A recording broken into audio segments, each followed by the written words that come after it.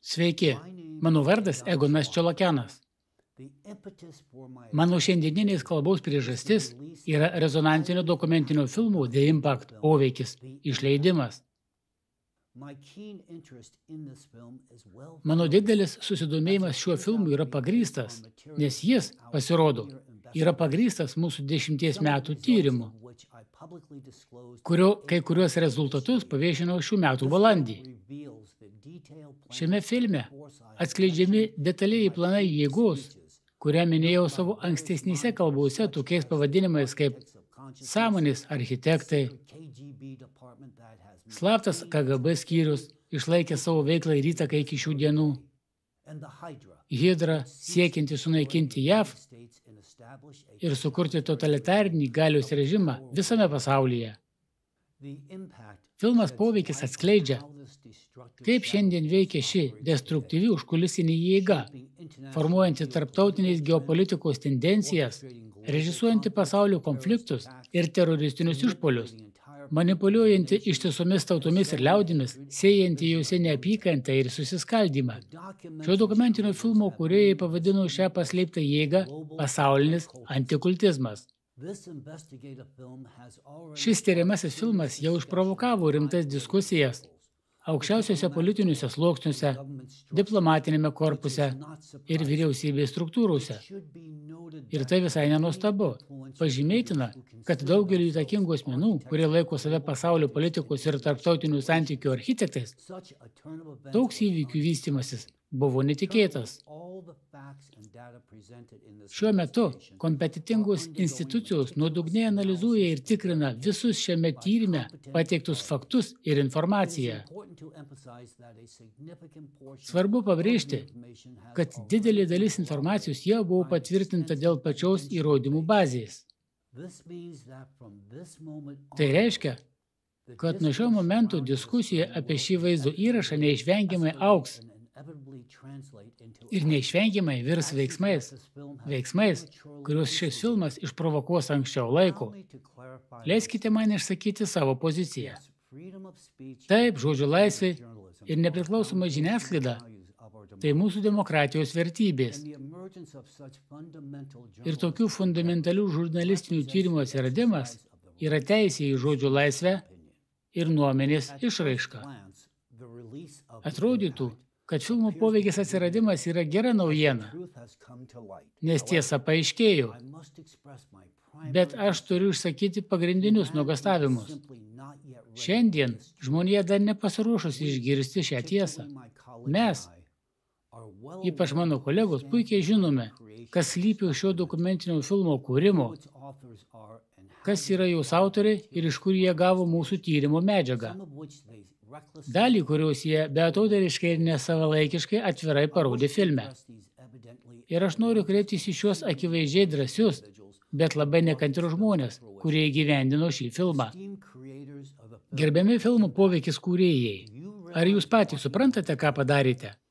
Mes suprantame, kad jūs skatino kilnus motyvai – humaniškumas, altruizmas, patriotizmas. Ir tai nebejotinai verta pagarbos. Tačiau leiskite man pasakyti, kad jūs aplenkėte laiką. Jūs viešai paskelbėte duomenis ir medžiagą, kurių dar nebuvo laikas skelbti. Taip, aš sutinku. Žmonės turi teisę žinoti tiesą. Taip, jūs atlikote įspūdingą darbą, bet jūs net neįsivaizduojate, kiek papildomų sudėtingumų jūs sukėlėte mūsų darbui šiais veiksmais. Supraskite, kai kalbama apie globalius dalykus, reikia kantrybės. Jūsų nekantrumas šiuo atveju apsunkino tyrimo procesą. Jei ši informacija būtų buvusi paviešinta, tarkime, po metų, rezultatai būtų buvę daug mažiau dramatiški. Tačiau jūs išprovokavote tam tikras pasiekmes anksčiau laikų. Jūs paviešinote konkrečius metodus, kurios naudoja tiek antikultinės organizacijos, tiek jėga, kurią pavadinote pasauliniu antikultizmu. Jūs per skrupulingai detalizavote jų schemas, per daug išsamei išsakėte jų ketinimus. Jūs paviešinote tai, kas turėjo likti uždaryta dar bent metus. Dabar valdžios institucijų atstovai bet kurioje šalyje, kurioje veikia antikultinės organizacijos, neturi juridinės teisės nereaguoti ir nepatraukti baudžiamojon atsakomybėn visų griežtumu pagal įstatymą visų filme paminėtų asmenų. Ypač atsižvelgiant į tai, kad egzistuoja plati nenuginčiajimų faktų ir jų nusikalstamos teroristinės veiklos įrodymų duomenų bazė. Taigi, ne tik moraliniu požiūriu, bet ir pagal galiojančius teisės aktus tai, kad dabartinės valdžios institucijos tinkamai nereaguoja į atskleistus faktus, gali būti laikoma bendradarbiavimu teroristinėje veikloje. Tai liečia aukščiausių lygio politikos ir specialiasias tarnybas. Jei jie nereaguoja ir nepadeda nusikaltėlių patraukti atsakomybėn, jei jiems nesipriešina, pagal įstatymą, jie tampa ne tik nusikalstamos veiklos bendrininkais, bet ir nacizmo atkūrimo ir ketvirtojo reicho kūrimo bendrininkais. Poveikio autoriai, ar suprantate, ką padarėte? Jūs per anksti išprovokavote veiksmus, o tai dabar suteikia galimybę giluminiams pasaulinės netvarkos ideologams, pasaulio antikultizmo atstovams pasislėpti dar giliau. Taip, jūs plačiai paviešinote jų pėstininkų, antikultinių organizacijų, žiniasklaidos atstovų ir jų kolaborantų tinklų nusikalstamus veiksmus. Visi jie bus besąlygiškai atsakingi už savo siaubingus veiksmus, už teroristinę veiklą, nacizmą ir genocidą. Jų dalyvavimą nusikaltimuose žmogiškumui jau patvirtino plati įrodymų bazė, kuri kasdien vis didėja. Tačiau jūs turite žinoti, kad visos figūros, asmenybės ir vardai, kuriuos išryškinote filme poveikis, yra tik atlikėjai. Taip pat kaip ir platus antikultinių organizacijų tinklas. Visa tai yra ne kas kita kaip driežo uodega, kurią jis lengvai išmes tinkamo momentu. Tai pėstininkai, kuriuos žaidime aukoja nedvėjodami. Užtikus jų pėtsaką ir juos suėmus, viskas, su kuo liks jėgos struktūros, tai driežo uodega rankose. O pats driežas, pagrindiniai pasaulio antikultizmų ideologai, tie, kurie iš tikrųjų traukia įvykių ir vėles, dings iš akiračio ir kaip mėšlavabalis, dabar stengsis įlysti dar giliau. Mes neabejotinai toliau tirsime ir galiausiai atskleisime šios pasaulinius manipuliatorius, kad ir kaip jie giliai besislėptų. Tačiau jūsų veiksmai mums labai apsunkino šią užduotį. Dabar didžiulis skaičius žmonių turės atlikti didžiulį papildomą darbą, kad pasiektų norimą rezultatą. Pagrindinis tyrimo uždavinys yra nustatyti ir patraukti baudžiamojo atsakomybėn pagrindinius pasaulio destruktyvaus proceso ideologus. Tik toks požiūris leis veiksmingai nutraukti jų veiklą. Labai svarbu užtikrinti, kad būtų surinkta išsami įrodymų bazė, kuri neleistų nei vienam iš susijusių asmenų išvengti atsakomybės. Tačiau per ankstyvas informacijos paskelbimas kelia pavojų, kad viešas procesas bus suteltas tik į vykdytojus. Fasado asmenys yra organizacijas, paliekant tikriesiems organizatoriams galimybę pridengti savo pėtsakus ir nuslėpti savo dalyvavimą. Prašau teisingai mane suprasti. Aš nesistengiu sumenkinti jūsų darbo svarbos. Aš suprantu jūsų gerus ketinimus ir vertinu jūsų tiesos siekimą. Tačiau aš turiu išreikšti savo susirūpinimą. Tokiems rimtiems žingsniams, kurių jūs ėmėtės, reikia koordinavimo ir suderinamumo. Jūs galėjote bent jau pasikonsultuoti. Istorija nekartą mums parodė, kad skubumas ir laiko aplenkimas gali turėti nenuspėjamų pasiekmių. Kadangi dokumentinio filmo autoriai pasiekė Rusijos temą, prisiminkime pavyzdžiui Vladimirą Žirinovskį, politiką, kurio prognozijas dažnai lenkia savo laiką ir kurio teisingi teiginiai apie klimatą drąsiai skambėjo viešoje erdvėje. Arba prisiminkite naujausią Alatro organizacijos pavyzdį, kuris taip pat pralenkė savo laiką, išdrįsdamas pasakyti tiesą apie katastrofišką klimato kaitą Rusijoje, kuri kelia grėsmę visam pasauliui. Kaip pasisuko jos istorija? Rusijoje ir Ukrainoje Rusijos nurodymo Alatra buvo nutildyta ir žiauriai persekiojama. Taip gydingai paminant žodžių laisvę ir žmogaus teisės šiuose šalyse. Kai kurių Rusijos valdžios institucijų atstovų įsakymų represinė mašina buvo nuleista ant Alatra. Tai akivaizdus tiesos slopinimų ir tų, kurie drįsta mesti iššūkį melui, persekėjimo veiksmas. Tiek ponas Žirinovskis, tiek Alatra dalyviai skambino pavojaus varpais apie didelio masto klimato katastrofą Rusijoje ir pasaulyje. Jie buvo ignoruojami, jie buvo uždaryti, jie nebuvo suprasti. Kodėl? Nes visuomenė nebuvo pasiruošusi karčiai tiesai. Taigi, ponai žurnalistai, sukūrė filmą poveikis. Atminkite, tiesas visuomenė suvokia tik tada, kai tam yra tinkamas laikas. Taip, jūsų dokumentinio filmo poveikis išleidimas buvo rimtų viešų diskusijų ir susirūpinimo katalizatorius. Jame iškeltos temos pernelyg tiesiogiai nurodė pagrindinės besitęsinčias tragiškų įvykių tiek jungtinėse valstijose, tiek pasaulyje priežastis.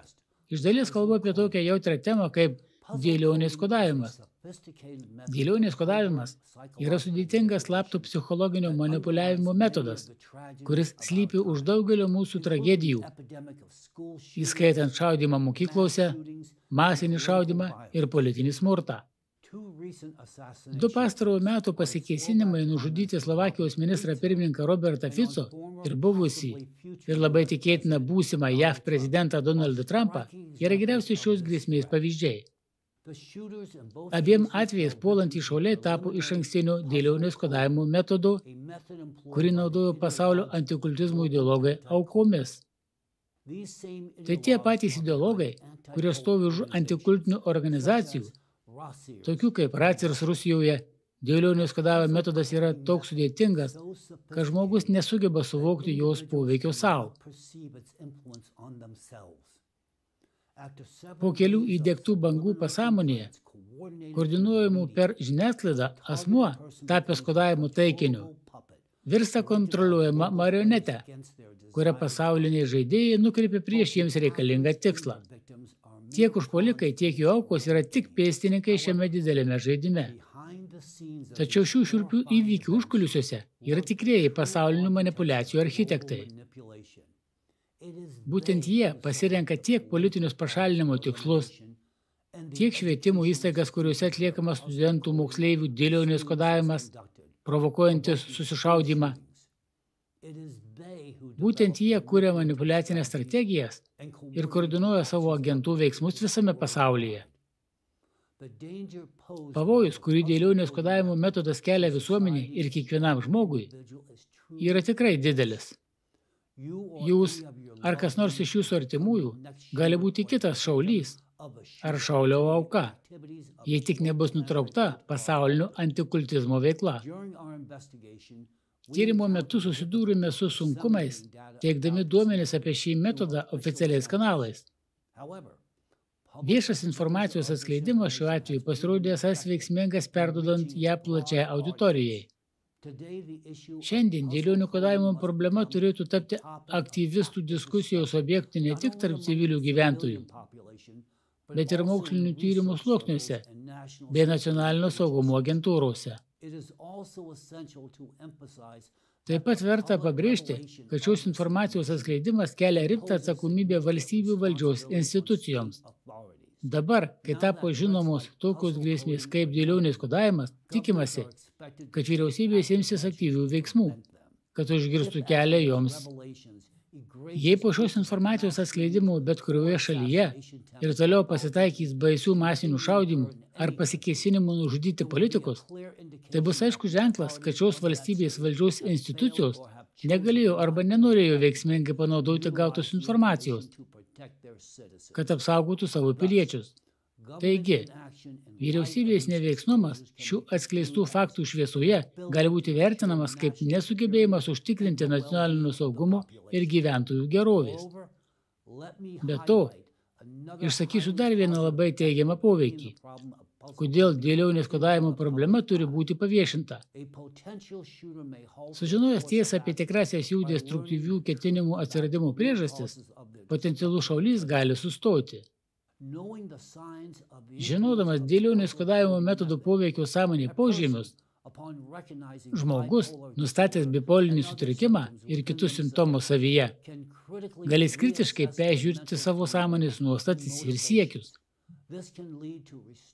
Tai leis atkurti jau kritinį suvokimą apie savo mintis ir veiksmus. Šiuo atveju yra didelė tikimybė, kad būsimasis šaulys, žiūrėdamas filmo poveikis ir sužinojęs tiesą apie jau destruktyvių minčių kilmę, atsisakys savo nusikalstamų ketinimų. Tokiu būdu masinių šaudimų grėsmę pasaulyje galima sumažinti 80 procentų. Jei informacija apie dėlionius kodavimo metodą taps plačiai paplitusi. Taip pat noriu padėkoti filmo poveikis kūrėjams už tai, kad bent jau neatskleidėte visų kortų susijusių su dėlionės kodavimo metodu darbu, bet suteikėte tiksliai tiek informacijos, kiek reikia norint suprasti jo pavojų ir patį veikimo mechanizmą. Be to, nukrydamas, leisiu savo atkreipti dėmesį dar į vieną pasiekmę, kurią neišvengiamai sukels filmų poveikis išleidimas. Dabar, kai kaukės buvo nuplėštos nuo pasaulinių antikultizmo pėstininkų, nuo jų matomų vykdytojų, antikultinių organizacijų ir jas palaikančių žiniasklaidos atstovų, natūralu, kad informacinėje erdvėje jie reaguos agresyviai. Jie greičiausiai tikrai bandys aktyviai ginti savo pozicijas, naudodamėsi savo įtakos agentais, įskaitant bandymą verbuoti naujus žurnalistus, kad jie skleistų dezinformaciją ir šmeištą prieš mane. Naujų žurnalistų verbavimas yra viena iš jų strategijų, kuri padėtų apsiginti nesėkmės atveju, sukurtų masinę paramą jų nekaltumui ir teisingumui, o taip pat diskredituotų tuos, kurie atskleidė tiesą. Atminkite, kad jie kariauja prieš demokratiją tik informacinėme lauke, manipuliuodami valdžios institucijomis, saugumo pajėgomis ir žmonių nuomonę. Tačiau tokie veiksmai yra nekas kita, kaip desperatiškas jų bandymas apsisiginti, suvokiant jų pralaimėjimo neišvengiamumą. Svarbu, kad visi, kurie vis dabar juos palaiko ir dalyvauja jų dehumanizuojančioje retorikoje, suprastų šių kelių beprasmiškumą. Filmas poveikis gali padėti suprasti įstatymų, pagal kurios tokia nusikalstama veika jau vertinama, pasiekmes ir rimtumą. Atskirai noriu kreiptis į žurnalistus, į kuriuos šiandien kreipiasi antikultiniai agentai su tokiais šmeižikiškais užsakymais. Pinigai, žinoma, yra gerai. Tarčiau prieš priimdami pagalvokite, ar nepakartausite judo likimo. O dabar perėsiu prie pagrindinės savo kreipimosi linijos. Šiandien mes turime pripažinti dabartinę padėtį. Filmas poveikis, kuris sukelia tam tikrų sunkumų mūsų darbui, jau yra prieinamas plačiai visuomeniai. Atsižvelgdamas į su tuo susijusias intensyvės viešas diskusijas, aš taip pat norėčiau išreikšti savo poziciją dėl daugelio jame iškeltų klausimų. Šiame filme autoriai sutelkė dėmesį į Lietkalnio viršūnę, į antikultinio judėjimo veiklą. Tačiau antikultinės organizacijos yra tik vienas iš pasaulinio antikultizmo hidrošiptuvų, tik vienas iš jos ginklų. Tikrasis pavojus lypi didelio masto įtakos tinkle, kuris persmelkia visas visuomenės rytis.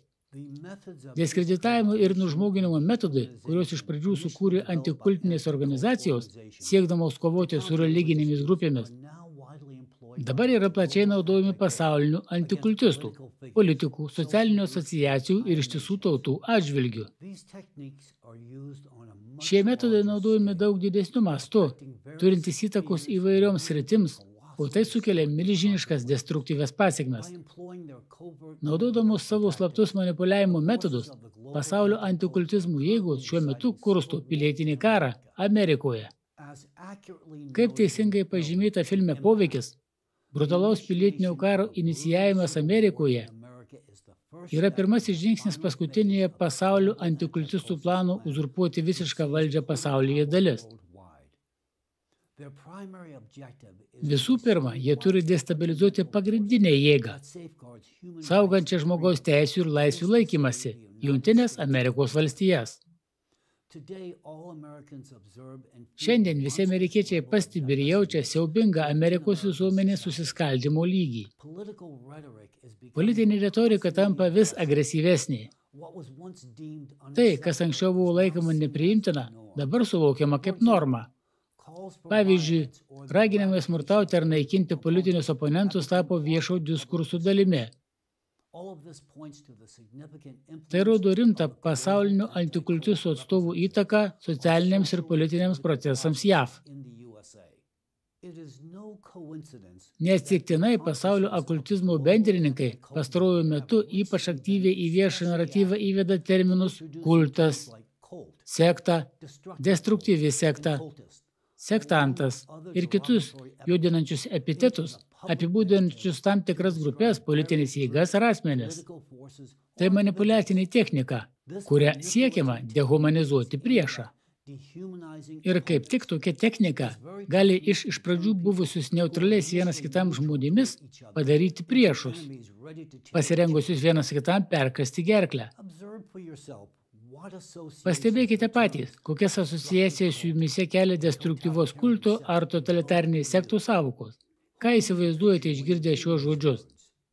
Labiau tikėtina, kad jūs nematote žmonių, bet matote zombius, būtybės, beveik žvėris.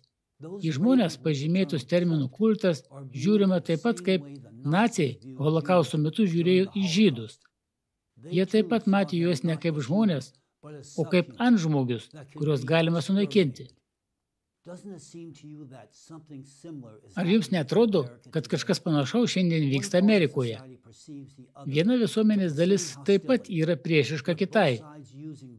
Ir abi pusės naudoja skirtingas šmeižikiškas ir dehumanizuojančias etiketės. O tai atveria pretekstą smurtui. Taip, amerikiečiai šiandien ruošiasi konfliktui, tiksliau plataus masto pilietiniam karui. Ir aiškus pavyzdys, kaip toks persekiojimas sukelia siaubingas pasiekmes, įveiko apgulties Teksase tragediją 1993 metais. Tai buvo labai plačiai aptarta filme poveikis. Ar pamėte šią šiurpę Davido šakos kompleksų apgultį? Dokumentinis filmas Poveikis atskleidė ilgai lauktą ir esu tikras šokiruojančią tiesą apie šį įvykį.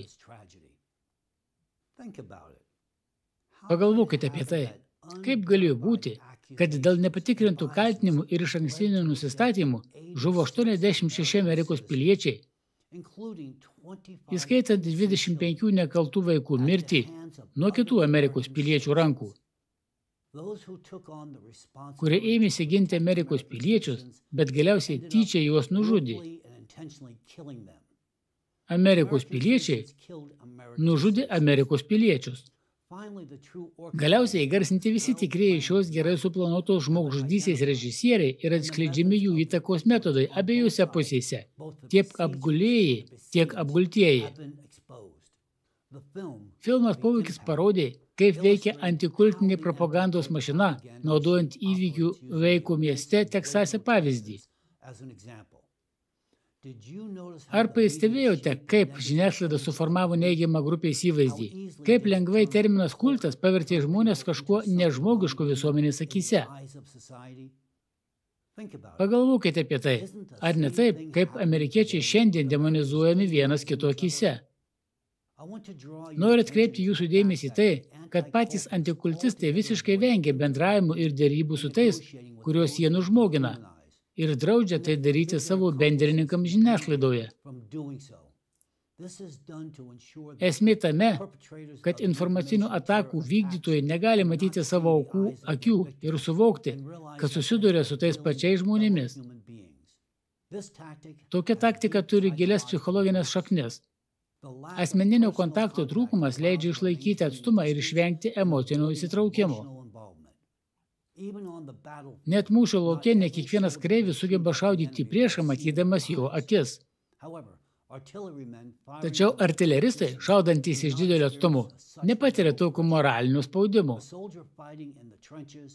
Kareivis, kuris kovoja apkasuose ir mato savo priešininkų akis, prisiminčius veidus visą likusį gyvenimą. Kita vertus, artileristų tokios vizijos nepersekioja, nes jis nemato tų, į kuriuos šaudo.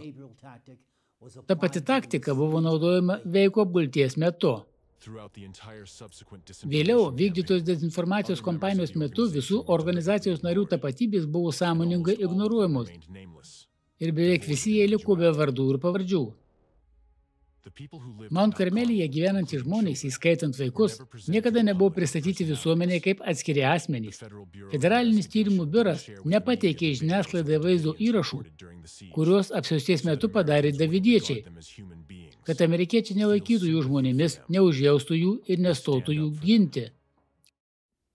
Veiko yra ne tik praeities tragedija, bet ir įspėjimas ateičiai.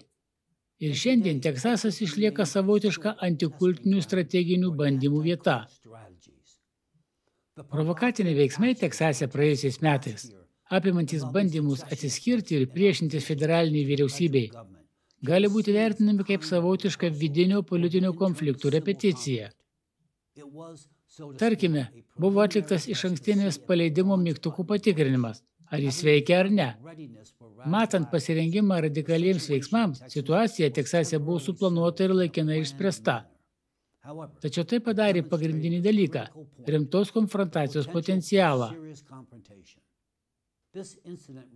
Šis incidentas parodė, kad visi pilietinio konflikto ingredientai reikalingi pasauliniams žaidėjams yra vietoje.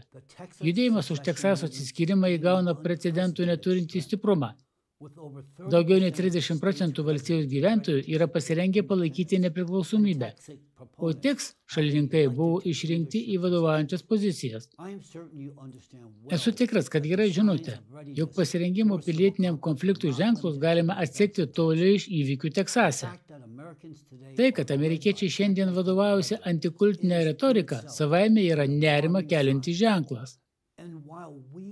Ir jeigu mes tikrai padarysime galą gėdingam antikultizmų reiškiniui,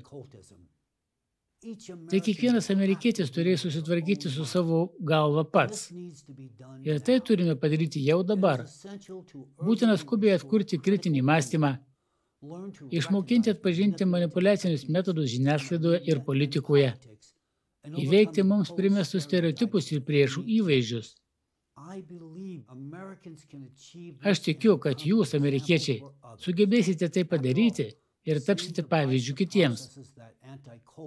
Juk skaldimo procesai, kuriuos antikultizmas katalizuoja Amerikoje, prasideda ir Europoje. Jei Amerikos pilietinis karas yra pirmas žingsnis paskutinėje priešų pergalės strategijos dalyje, antrasis žingsnis yra išprovokuoti ES žlugimą. Taip pat noriu atkreipti jūsų dėmesį į nerimą keliančius ženklus, kurie parodė didėjančią ES dezintegracijos tendenciją. Pirma, didėja politinis susiskaldimas pačiose Europos šalyse. Maždaug dešimtmetį ES bandė suvaldyti antidemokratinės tendencijas kai kuriuose savo valstybės naryse. Tačiau dėja tai buvo nesėkminga. Europoje plačiai paplitęs teisinės valstybės padėties nuosmukis. Antra, didėjant geopolitinių blokų konkurencijai, daugėja nesutarimų tarp ES valstybių narių įvairiais klausimais, įskaitant ekonominius ir geopolitinius. Tai sukuria derlingą dirbą visuomeniais politiniai polarizacijai ir radikalizacijai. Trečia, migracinės krizės didėja, o nesutarimai šiuo klausimu tarp ES šalių yra intensyvūs ir artimiausioje ateityje jie toliau įgaus pagreitį. Naujausias prancūzijos prezidento Emanuelio Makrono pareiškimas apie Europos mirštamumą ryškiai iliustruoja Europos lyderių nerimo lygį. Be to, gilų skirtumai tarp Prancūzijos ir Vokietijos, kurios anksčiau kartu sprendė pagrindinius strateginio planavimo klausimus, labai pablogina padėtį. Visi šie veiksniai rodo, kad užkulisiuose yra gerai organizuota jėga, tikslingai provokuojanti dezintegracijos procesus Europoje. Taigi, pasaulinis antikultizmas, jėga siekianti perskirstyti ir uzurpuoti geopolitinę galę pasaulyje, šiandien kelia milžinišką pavojų tiek Jungtinėms valstijoms, tiek Europai. Tačiau svarbu pabrėžti, kad egzistuoja kita pusė, kuri patiria maksimalią žalą ir kenčia nuo šios paslėptos šešėlinės jėgos įtakos. Aš su visa atsakomybė pareiškiu, kad didžiausias pavojus islamui šiandien yra pasaulinis antikultizmas. Šiuo metu esame ant didelio masto civilizacinio karo slengščių. Ir mes nekalbame apie abstrakčią vakarų ir rytų konfrontaciją. Kalba eina apie konkrečią islamo pasaulio ir likusio pasaulio konfrontaciją, kuri šiandien, pagal visus požymius, yra dirbtinai kurstoma paslėptos destruktyvios jėgos, pasaulinio antikultizmo. Leiskite man šiek tiek pasinerti į pasaulio įvykių kontekstą. Atkreipkite dėmesį į pastarųjų dešimtmečių tendencijas. Mes užfiksavome sistemingus musulmonų teisų pažeidimus visame pasaulyje. Europoje, Amerikoje ir Rusijoje. Jungtinėse valstijose, pasak Amerikos ir Islamo santykių tarybos, Pastaraisiais metais smarkiai išaugo neapykantos nusikaltimų prieš musulmonų skaičius ir prieš musulmonus nukreiptų neapykantos grupių veikla. 2023 m. spalį žymus Amerikos antiislamistiškas veikėjas paskelbė straipsnį, kuriame padarė tokį pareiškimą apie musulmonus. Citata. Mes esame karo būsinoje tarp laukinių ir civilizacijos. Citatos pabaiga. Manau, kad dabar jums labai aišku, ką antikultiniai šaukliai sieja su posakiu civilizacinis karas. Civilizacijos karas prieš laukinius, kuriuos jų manimu reikia pašalinti. Kodėl? Todėl, kad musulmonai yra taikos ir moralinių grynumų religijos atstovai. O pats islamas su savo stipriomis ir nepajudinamomis tradicijomis yra labai nepatogus tiems, kurie siekia pasaulinės kontrolės. Natūralu, kad antiislamiškos nuotaikos pasaulyje ypač išaugo 2023 m. spalį, kai įvyko naujas Palestinos ir Izraelio konflikto etapas. Svarbu suprasti, kad šį ilgalaikį Izraelio ir Palestinos konfliktą, kuris jau seniai galėjo būti išspręstas, sąmoningai remia ir kursto pasaulinio antikultizmo atstovai.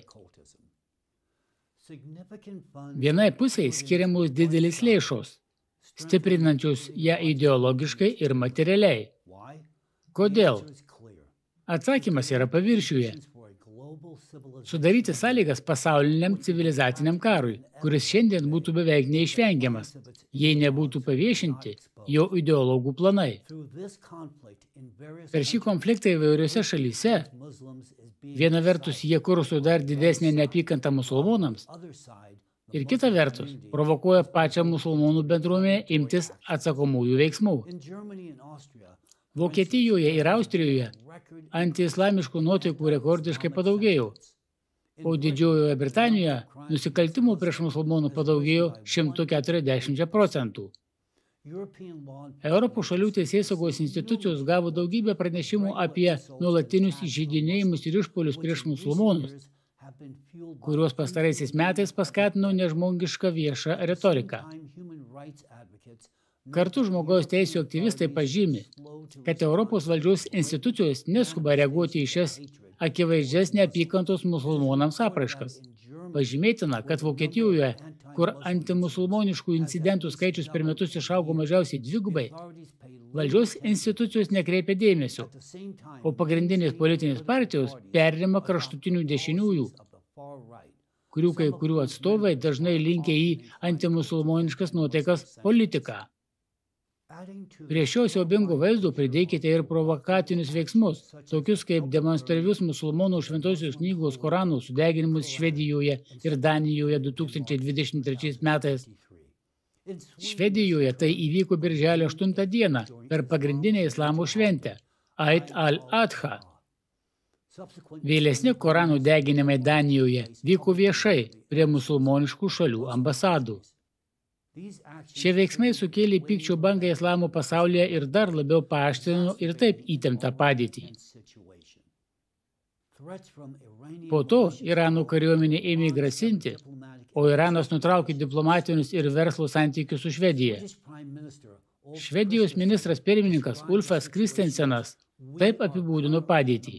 Šiuo metu esame atsidūrę rimčiausioje situacijoje dėl saugumo nuo antrojo pasaulinio karo laikų. Irano Islamo Respublikos aukščiausias lyderis Ajatola Ali Khomeini pareiškė, kad Švedija pradėjo kovinę parengti karų su musulmonų pasauliu. Atsižvelgdamas į tai, kas įvyko, Čečenijos Respublikos Rusijoje vadovas Ramzanas Kadyrovas paragino visą musulmonų pasaulį imtis veiksmų. Jo citata. Aš raginu islamo valstybių vadovus atsibus ir padaryti viską, kas įmanoma, kad apsaugotume savo religiją nuo bet kokių nusikalstamų išpolių. Kitaip bus per vėlo. Jis taip pat domėjosi, ką daro musulmonų lyderiai, kad užkirstų kelią šiai situacijai ir kodėl jie leidžia atvirai išneikinti mūsų šventuosius raštus. Nerima kelia antiislamistiškų nuotaikų augimo tendencija pastebima ir pačioje Rusijoje, kur šį procesą taip pat skatina pasaulinio antikultizmų jėgos. Kovo 22 dieną jų surinktas monstriškas teroristinis išpolius Krokuse, kurį įvykdė musulmoniškų šalies Tadžikistano išeivių rankomis – pasitarnavo kaip katalizatorius migracijos politikos sugriežtinimui Rusijoje ir ksenofobinių nuotaikų bangai Rusijos visuomenėje. Šis įvykis išprovokavo didėjantį neįgimą požiūrį į musulmonus ir teisėsaugos institucijų vykdomą jų persekiojimą. Ypatingų dėmesio vertas incidentas Dagestane, įvykęs praėjus trims mėnesiams po tragedijos Krokuse. Birželio 23 dieną per ortodoksams svarbę šventę švenčiausios trejybos dieną, sekminiais. Kovotojai surengė išpolius Mahačkalos ir Derbeto miestuose. Padegė bažnyčias ir sinagogą ir nužudė 22 žmonės, įskaitant ortodoksų šventiką. Išpolių laikas svarbi krikščionių šventė. Ir nusikaltimų vietoje esantys specialiai palikti užrašai, nurodantis į Korano ajatus – Visa tai aiškiai rodo, kad buvo tikslingai ir sąmoningai kurstoma religinė nesantaika ir didinama neapykanta islamui. Ši provokacija paskatino Rusijos teisės saugos institucijas dar griežčiau vertinti musulmonus ir migrantus ir imtis griežtesnių teisinių priemonių. Dėl to saugumo pajėgos ėmė rengti reidus mečetėse, taip pat ir per penktadienio pamaldas, o tai labai papiktino Rusijos musulmonus. Pirmiau pateiktų įvykių, pareiškimų ir antiislamiškų provokacijų Rusijoje, Europoje ir Jungtinėse valstijose pavyzdžiai yra tik dalis nerima keliančių tendencijų. Stebimų visame pasaulyje. Visus šios įvykius reikėtų vertinti kaip vienos grandinės grandis, kuriomis siekiama sudaryti sąlygas didesniam konfliktui, civilizaciniam karui tarp islamo ir viso pasaulio. Ir tai rodo dar vienas akivaizdus faktas. Didėjant įtampai tarp konfesijų pasaulyje ir stiprėjant antiislamiškoms nuotaikoms, pastaraisiais metais mes stebime tikslingą migracijos rautų iš musulmoniškų šalių į Europą skatinimą. Atrodytų, tai prieštarauja prieimančių šalių nacionalinio saugumo logikai. Tačiau gilesnė geopolitinė padėties analizė rodo, kad tai yra didesnio plano dalis. Neveltui tarp migrantų iš musulmoniškų šalių yra neproporcingai daug stiprių darbingų amžiaus jaunų vyrų, kurių daugelis turi karinį pasirengimą. Neveltui sąmoningai nesiekiama veiksmingų šių grupių integracijos į Europos visuomenę. Ir ne šiaip savo, priimančiose šalyse lygiagrečiai stiprėja antiislamiškos nuotaikos. Šie veiksniai sudaro prielaidas didelio masto civilizaciniam konfliktui tarp islamo ir neislamiškojo pasaulio. Konfliktų, kuriame pradinis vaidmuo teks musulmonams migrantams priimančiose šalyse. Svarbu pažymėti, kad patys migrantai šiandien gali nesuvokti savo vaidmens galimame konflikte. Tačiau tam tikromis sąlygomis jie bus mobilizuoti. Dabar jie yra mėganti jėga, kurią kritiniu momentu suaktyvins jėgos. Iš pradžių sumaniusios ir suplanavusios šią migracijos strategiją patys šios migracijos scenarijaus autoriai. Pasaulinis antikultizmas. Pagal daugia pakopį pasaulinio antikultizmo strategiją, musulmonų pasaulio sukėlimas yra trečias žingsnis galutinėje jų strategijoje, kuria siekiama sutrikdyti pasaulio tvarką.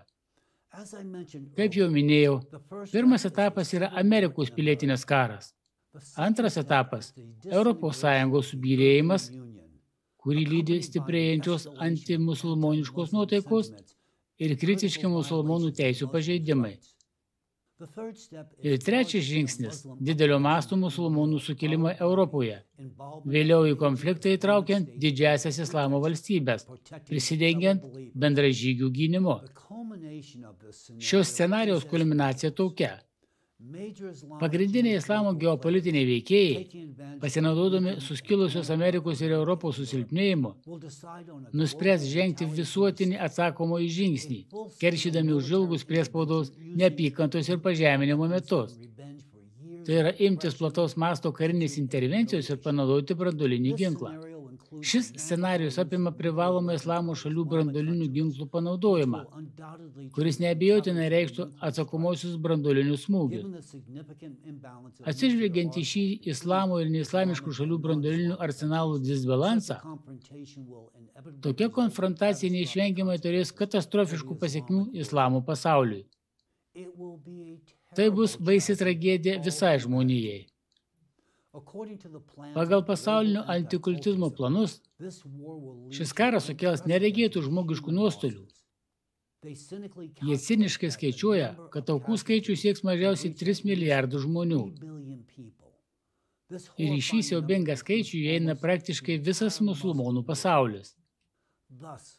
Todėl nesitiktinai daugėja pasakojimų apie brandulinį karą, kuriuos vis dažniau girdime iš politikų, žurnalistų ir visuomenės veikėjų lūpų.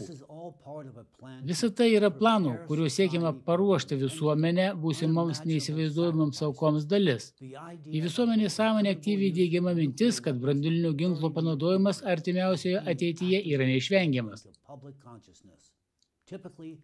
Paprastai šie raginimai išsakomi Rusijos ir Amerikos santykių kontekste.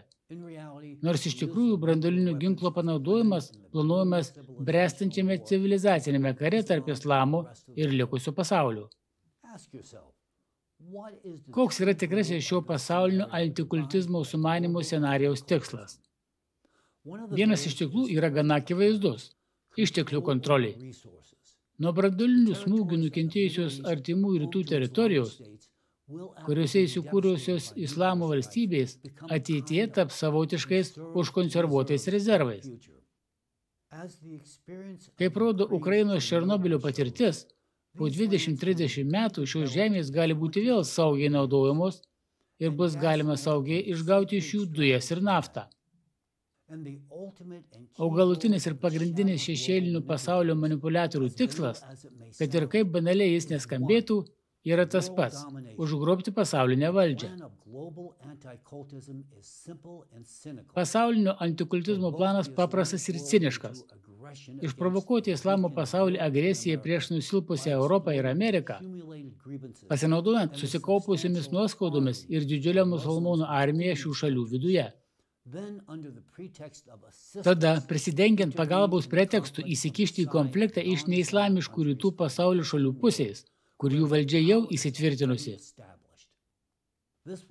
Ir galiausiai destabilizuoti padėtį bei perėti karų ir konfrontacijų chaoso padalytą pasaulį į savo totalitarinę kontrolę. Svarbu pažymėti, kad antikultistų skaičiavimais dėl šio civilizacinio karo nuo žemės paviršiaus bus nušluoti ne tik islamo atstovai, bet ir kitos šalys, kurios dabar laikomos vakarų civilizacijos tvirtovėmis, patirs didžiulių nuostolių. Būtent jų gyventojai sudarys didžiąją dalį iš milijardų, kuris bus paukotas įgyvendinant šį monstrišką planą. Jų aukomis būsime ir jūs ir aš, nes šie žiaurų šešėliniai veikėjai tikrąją civilizaciją laiko tik save. Šiandien, svarstydamas klausimus susijusius su islamu ir potencialia civilizacinio konflikto grėsme, net vidutinio lygio analitikas, peržiūrėjęs filmą poveikis, išnagrinėjęs ir palyginęs viešai prieinamus faktus ir duomenis, prieis prie tos pačios išvados, kurią išsakiau aš. Civilizacinis karas beveik neišvengiamas. Iki jo pradžios liko tik keli žingsniai. Pasaulinio antikultizmo jėgos taip susitelkusios į savo tamsų planą, pavergti pasaulį ir išsaugoti iškastinius išteklius savo tobulinimą, kad nepastebi arba nenori pastebėti dramblio kambaryje. Pagrindinių pavojaus, kuris gali padaryti galą bet kuriai jų kruopščiai parengtai strategijai. Tas pavojus yra greita ir katastrofiška klimato kaita. Apie kokį gamtos išteklių užsaugojimą galime kalbėti, jei po dviejų ar trijų dešimtmečių mūsų planeta bus tinkama tik tokiems gyvūnams kaip pavyzdžiui lėtūnai, galintys išgyventi net Marso sąlygomis. Būtent tokį Marso likimą rizikuojame pakartoti per artimiausius dešimt metų. Jau minėjau ir pakartosiu dar kartą. Dabartinė pavojinga Žemės klimato būklė lemia ne tik antropogeninis poveikis, bet ir cikliški geodinaminiai procesai, kurie skatina kataklizmų augimą ir ekstremalių vandenynų bei atmosferos įkaitimą. Ir jei laiku nesijimsime veiksmų, šis ciklas žmonijai gali būti paskutinis. Ypač smarkiai padėtis pablogėjo Rusijos teritorijoje, kur nuo 2023 metų antro pusmečio užfiksuotas ryškus stikinių nelaimių skaičiaus padidėjimas. Kokia šio šuolio priežastis? Kaip jau išsameu paaiškinau, priežastis yra specializuotos eksperimentinės įrangos veikusios nuo 2013 metų iki 2023 metų rūpiučio mėnesio Rusijos teritorijoje uždarymas. Įranga buvo sukurta dalyvaujant mokslininkams susijusiems su tarptautiniu visuomeniniu judėjimu Alatra. Ši įranga leido sumažinti ekstremalių klimato reiškinių apraiškas. Po to, kai judėjimas Alatra buvo paskelbtas nepageidaujimų Rusijos teritorijoje, eksperimentinės įrangos darbas buvo nutrauktas. Pasiekmių ilgai laukti nereikėjo. Rusijos teritorijas ėmė atakuoti pražudingos audros, neįprasti sniego krituliai, padidintos galios uraganai. Grafikė aiškiai matyti, kaip efektyviai pavyko suvaldyti tokias apraškas ir kaip smarkiai pablogėjo situacija po to, kai įranga buvo išjungta. Tai iš karto atsispindėjo sparčiai augančiame ekstremalių klimato reiškinių skaičiuje ir stiprume. Atkreipkite dėmesį, kad 2013-2022 metais grafikė matomas stabilumas, rodantis, kad meteorologinių pavojų skaičius nedidėja. Tačiau nuo 2023 metų rūpiučio po eksperimentinės įrangos išjungimo kataklizmų skaičius Rusijoje ėmė sparčiai aukti, o tai rodo ekstremalių klimato reiškinių stiprumo ir destruktyvumo padidėjimas. Manoma, kad nuo 2025 metų kataklizmų skaičiaus didėjimas Rusijoje taps eksponentinis. Pagal tendenciją, kuri dabar pastebima likusiame pasaulyje. Apie šias pavojingas pasiekmes įspėjau iš anksto. O 2023 m. rugsėjo 3 dieną šias prognozes ir nuogastavimus viešai išsakė Alatra atstovas gerbiamas Igoris Mikhailovičius Danilovas. Tačiau mes nebuvome išgirsti. Rezultatas akivaizdus. 2024 metais Rusija užklupo dar daugiau precedentų neturinčių potvinių, audrų ir tornadų. Kaimininės šalys, tokios kaip Kinija, Kazakstanas, Baltarusija ir Rytų Europa, taip pat pajuto neigiamas įrangos išjungimo pasiekmes. Šiais metais jos ypač negailestingai nukentėjo nuo gamtos kataklizmų. Įranga buvo sumontuota būtent Rusijoje, nes Sibiras yra pagrindinis anomalos planetos įšilimo centras. Dabar, kai ji išjungta, niekas kitas padėties nesušvelnina ir ji tik blogės tiek Rusijoje, tiek pasaulyje. Be to, atkreipkite dėmesį, kaip sparčiai didėja seisminis aktyvumas planetoje. Pažvelkite į 5, 6 ir 7 balų stiprumo žemės drebėjimų augimo dinamiką. Remintis sausų matematinių paskaičiavimų, neatsižvelgiant į sunkinančius veiksnius, jau iki 2029 metų 7 balų stiprumo žemės drebėjimų dažnumas padidės 10 kartų ir prasidės visuotinių naikinimų ir chaoso era. Miestai virs griuvėsiais, infrastruktūra bus sunaikinta, o milijardai žmonių taps pabėgėliais. Ekonominės ir socialinės pasiekmės bus tokius didžiulis, kad gali lemti visišką šiuolaikinės civilizacijos žlugimą. Ir tai nėra hipotetinis tolimos ateities scenarijus, tai mūsų realybė po keliarių metų, jei nedėlsiant nesijimsime radikalių veiksmų. Labai gaila, kad šiuo metu, kai dėl blogėjančios klimato padėties reikia nedėlsiant konsoliduoti tarptautinę bendruomenę ir glaudžiai bendradarbiauti visoms šalims, pasaulis susitelkia į geopolitinių interesų konfliktų sprendimą, kovą dėl dominavimo ir įtakos sferų perskirstimų. Norėčiau Jūs patikinti, netrukus niekas negalės ignoruoti virš visos žmonijos pakibusių planetos pavojaus. Dabar aš norėčiau sutelkti dėmesį į pagrindinį savo pranešimo aspektą. Kadangi filmas poveikis jau tapo viešai prieinamas ir kelio atgal nebėra, atėjo laikas atviram pokalbiui. Šis pokalbis iki iš dalies bus susijęs su filme iškeltomis temomis. Pagrindinis mano šiandieno pasisakymo tikslas – pabandyti išgelbėti pasaulį nuo neišvengiamos pražūties, į kurią jis eina. Šios pražūties priežastis šiandien gali būti vienas konkretus žmogus, kuris turi galimybę išspręsti pasaulinę problemą arba sąmoningai leisti jai pasiekti logišką, tragišką pabaigą. Aš dabar kalbu apie poną Vladimirą Putiną. Aš labai norėčiau, kad jis nepraleistų informacijos, kurią pateiksiu šiame vaizdo įraše, padarytų šios išvadas ir imtųsi veiksmų, galinčių paveikti pasaulio likimą. Tačiau apie viską iš eilės. Atsižvelgdamas į filme poveikis pateiktą informaciją, manau, kad būtina atkreipti dėmesį į pagrindinį veiksnį, kuris kenkia demokratijos ir diplomatinio bendradarbiavimo pagrindams ir kelia grėsmę pačiai mūsų civilizacijos egzistencijai.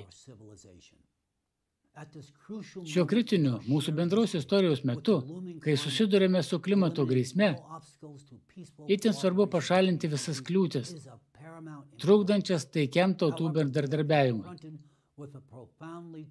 Tačiau mes susidurime su labai nerima keliančia tikrove. Šiuolaikinėme pasaulyje atgimsta nacizmo ideologija, jos metodai ir praktika. Būtent nacių laikais naudojamos pažangios manipuliavimo protų technologijos sukūrė geopolitinę šachmatų lentą, kurios liudininkais esame šiandien. Ir kaip teisingai teigiama filmų poveikis kuriejų analizėje, esant tokiems vystimus etapams, mes su jumis jau netolimoje ateityje galime pamatyti greitą ir negrįžtamą laisvės ir demokratijos žlugimą. Šiandien turime tiesioginių įrodymų, kad nacizmas dėje neišnyko kartu su Trečio reiko žlugimu. Tuomet laimėjome mūšį, bet dar turime laimėti karą. Su dideliu susirūpinimu turiu pripažinti faktą, kad nacizmo metodologija ir praktika išliko iki šių dienų tiesiogiai perdodama per konkrečių asmenų ir organizacijų veiklą. Filmą poveikis sukūrusių analitikų atlikto išsamaus tyrimo rezultatai įtikinamai rodo, kad šias istorinės sąsajas įmanoma nustatyti. Be to, šiuo metu vykdomas plataus mastų tarptautinis tyrimas jau duoda konkrečių rezultatų. Jis leidžia nustatyti asmenis, dalyvavusius dėgiant nacių praktiką ir ideologiją į šiuolaikinį pasaulį. net jei ir užslėpta ar modifikuota forma. Šis procesas labai svarbus, nes nacizmo grėsmiai ne tik kenkia tarptautinių bendradarbiavimų ir taikos pagrindams, bet ir kelia pavojų patiems žmogiškumo, lygybės ir teisingumo principams, už kuriuos mūsų pirmtakai sumokėjo nepaprastai didelę kainą. Visiškai nepriimtina, kad tam tikrus jėgos tęsia antihumanišką veiklą šiuo beprecedentiškai sunkiu visai žmonijai laikotarpiu. Kol visas pasaulis balansuoja ant bedugnės krašto, šios priešiškos jėgos sąmoningai žlugdo mūsų bendras pastangas išgelbėti planetą. Todėl mums tenka netidėliotina ir labai svarbi užduotis, kadangi vadinamojo pasaulinio antikultizmo atstovai, užimantys svarbiausius postus įvairiuose struktūrose ir toliau daro paslėptą, bet reikšmingą įtaką sprendimų prieimimo procesams ir viešosios nuomonės formavimui. Būtina imtis priemonių, kad būtų apribotos jų galimybės daryti įtaką pasaulio politikai ir visai visuomeniai. Tik pašalinę šią paslėptą įtaką galėsime pasistumėti į priekį spręsdami globalinę problemą, kuri šiuo metu yra klimato žlugimo ir visos žmonijos žūties grėsmė. Šioje situacijoje, kadangi esu asmuo, tiesiogiai dalyvaujantis pasaulinio antikultinio tinklo tyrime ir tuo pat metu puikiai suvokiu sparčiai didėjančią klimato grėsmę, bei tikrasias jos priežastis, Laikau savo pareigą ir garbės reikalų paaiškinti ir pateikti kai kurias savo mintis visuomeniai, tam tikriems valdžios atstovams, taip pat pasaulio antikultinio tinklo atstovams, kurie, kaip tikrai žinau, ypač atidžiai seka mano pranešimus. Šiandien mano pareiškimas labai skirsis nuo ankstesnių, nes atsižvelgdamas į viešai paskelbtą informaciją, dabar turiu galimybę kalbėti atvirai ir tiesiai įvardindamas dalykus tokiais, kokie jie yra. Šis naujas skaidrumo laipsnis leis aiškiau informuoti apie iššūkius, su kuriais šiandien susiduria visa bendruomenė. Aš nuoširdžiai tikiuosi, kad šiandien mano perduota žinia bus taiko žinia, didelių pokyčių katalizatorius ir žingsnis konstruktyvaus tarp valstybinių dialogų skirtų spręsti kylančią klimato grėsmę link. Kaip išsamei parodyta filme poveikis, Šiandien Rusijoje įsitvirtino nacizmo ideologijos ir metodų nešėjai, pamažu verčiantys šią šalį panašiai į nacistinę Vokietiją. Šie procesai vyksta slaptai, tačiau per pastaruosius tris dešimtmečius visi galėjome stebėti jų pasiekmes. Pirmiausia, jos pasireiškia kaip įvairių socialinio gyvenimo sričių transformacijos pačioje Rusijoje. Dar 1993 metais mes pastebėjome totalitarizmo ir nacionalizmo užuomasgų formavimusi Rusijoje tendencijas. Nuo dešimto dešimtmečio vidurio šios tendencijos sustiprėjo ir toliau augo. Ir šiandien turime faktinių įrodymų ir svarbių priežasčių teikti, kad Rusijoje jau įgyvendinami visi fašizmo ir itin radikalios jo formos nacizmo požymiai. Dabar norėčiau išsamei aptarti kai kurios iš šių požymių. Pirmas – tai antidemokratiškumas ir sistemingas žmogaus teisių, pavyzdžiui, teisės į žodžio, religijos ir susirinkimų laisvę pažeidinėjimas. Daugybė tokių pažeidimų Rusijoje pavyzdžių buvo pateikta filme poveikis. Pavojingas fašizmo požymis, atveriantis kelią valstybėje savivaliai ir pagrindinių piliečių teisių pažeidimams įteisinti, taip pat yra tarptautinės teisės normų ir principų ignoravimas ir pažeidinėjimas. Pagal 2020 m. kovo 14 d. priimtas Rusijos konstitucijos pataisas buvo įtvirtinta Rusijos konstitucijos viršenybės tarptautiniai teisės ir sutarčių atžvilgių. Taip, Rusijos piliečiai faktiškai buvo izoliuoti nuo pasaulinių žmogaus teisių ir demokratinių laisvių apsaugos sistemos. Verta paminėti precedentų neturinti prievartos aparato, Rusijos policijos ir specialiųjų tarnybų įtakos augimą. Šios struktūros, iš pradžių skirtos piliečių apsaugai ir teisėtvarkos palaikymui, virto politinių represijų priemonę. Atliekančią kratas ir sulaikymus be pakankamo teisinio pagrindo, pažeidžiančią piliečių teisę į privatumą, piknaudžiaujančią savo įgaliojimais, naudojančią pernelyg didelį jėgą ir net kankinimus bei nepageidaujamų asmenų likvidavimą. Tokių represijų mastas pasiekė precedentų neturinti lygį. Piliečiai sulaikomi ne tik už dalyvavimą taikiuose protestuose, kas savaime yra šiurkštus pagrindinių žmogaus teisų pažeidimas, bet net ir už veiksmus internete. Žmonės persiekėjami už tai, kad socialiniuose tinkluose prisijungė prie opozicinių grupių ir net už valdžios institucijas kritikuojančių pranešimų komentavimą. Tokie valdžios veiksmai turi aišku tikslą – įbauginti gyventojus ir nuslopinti bet kokias nesutikimų ar kritikos apraiškas. Taigi, teisėsaugos institucijos Rusijoje virto monstru, kuris ryja piliečių laisvę ir orumą sėja terorą ir prisideda prie totalitarinių režimų stiprinimo. Tokie kontrolės ir slopinimo metodai kopijuoja nacizmo metodus. Nacistinės Vokietijos laikais valdantysis režimas visapusiškai kontroliavo visas visuomenės gyvenimo sritis per SS saugumo padalinius ir jiems pavaldžia slaptą valstybės policiją, gestapą. Šiandien su dideliu nerimu stebime, kaip Rusijos teisėsaugos institucijos ir specialiosios tarnybos, tai yra vidaus reikalų ministerija ir FSB, įgyja panašių į gestapo ir SS bruožų ir galių.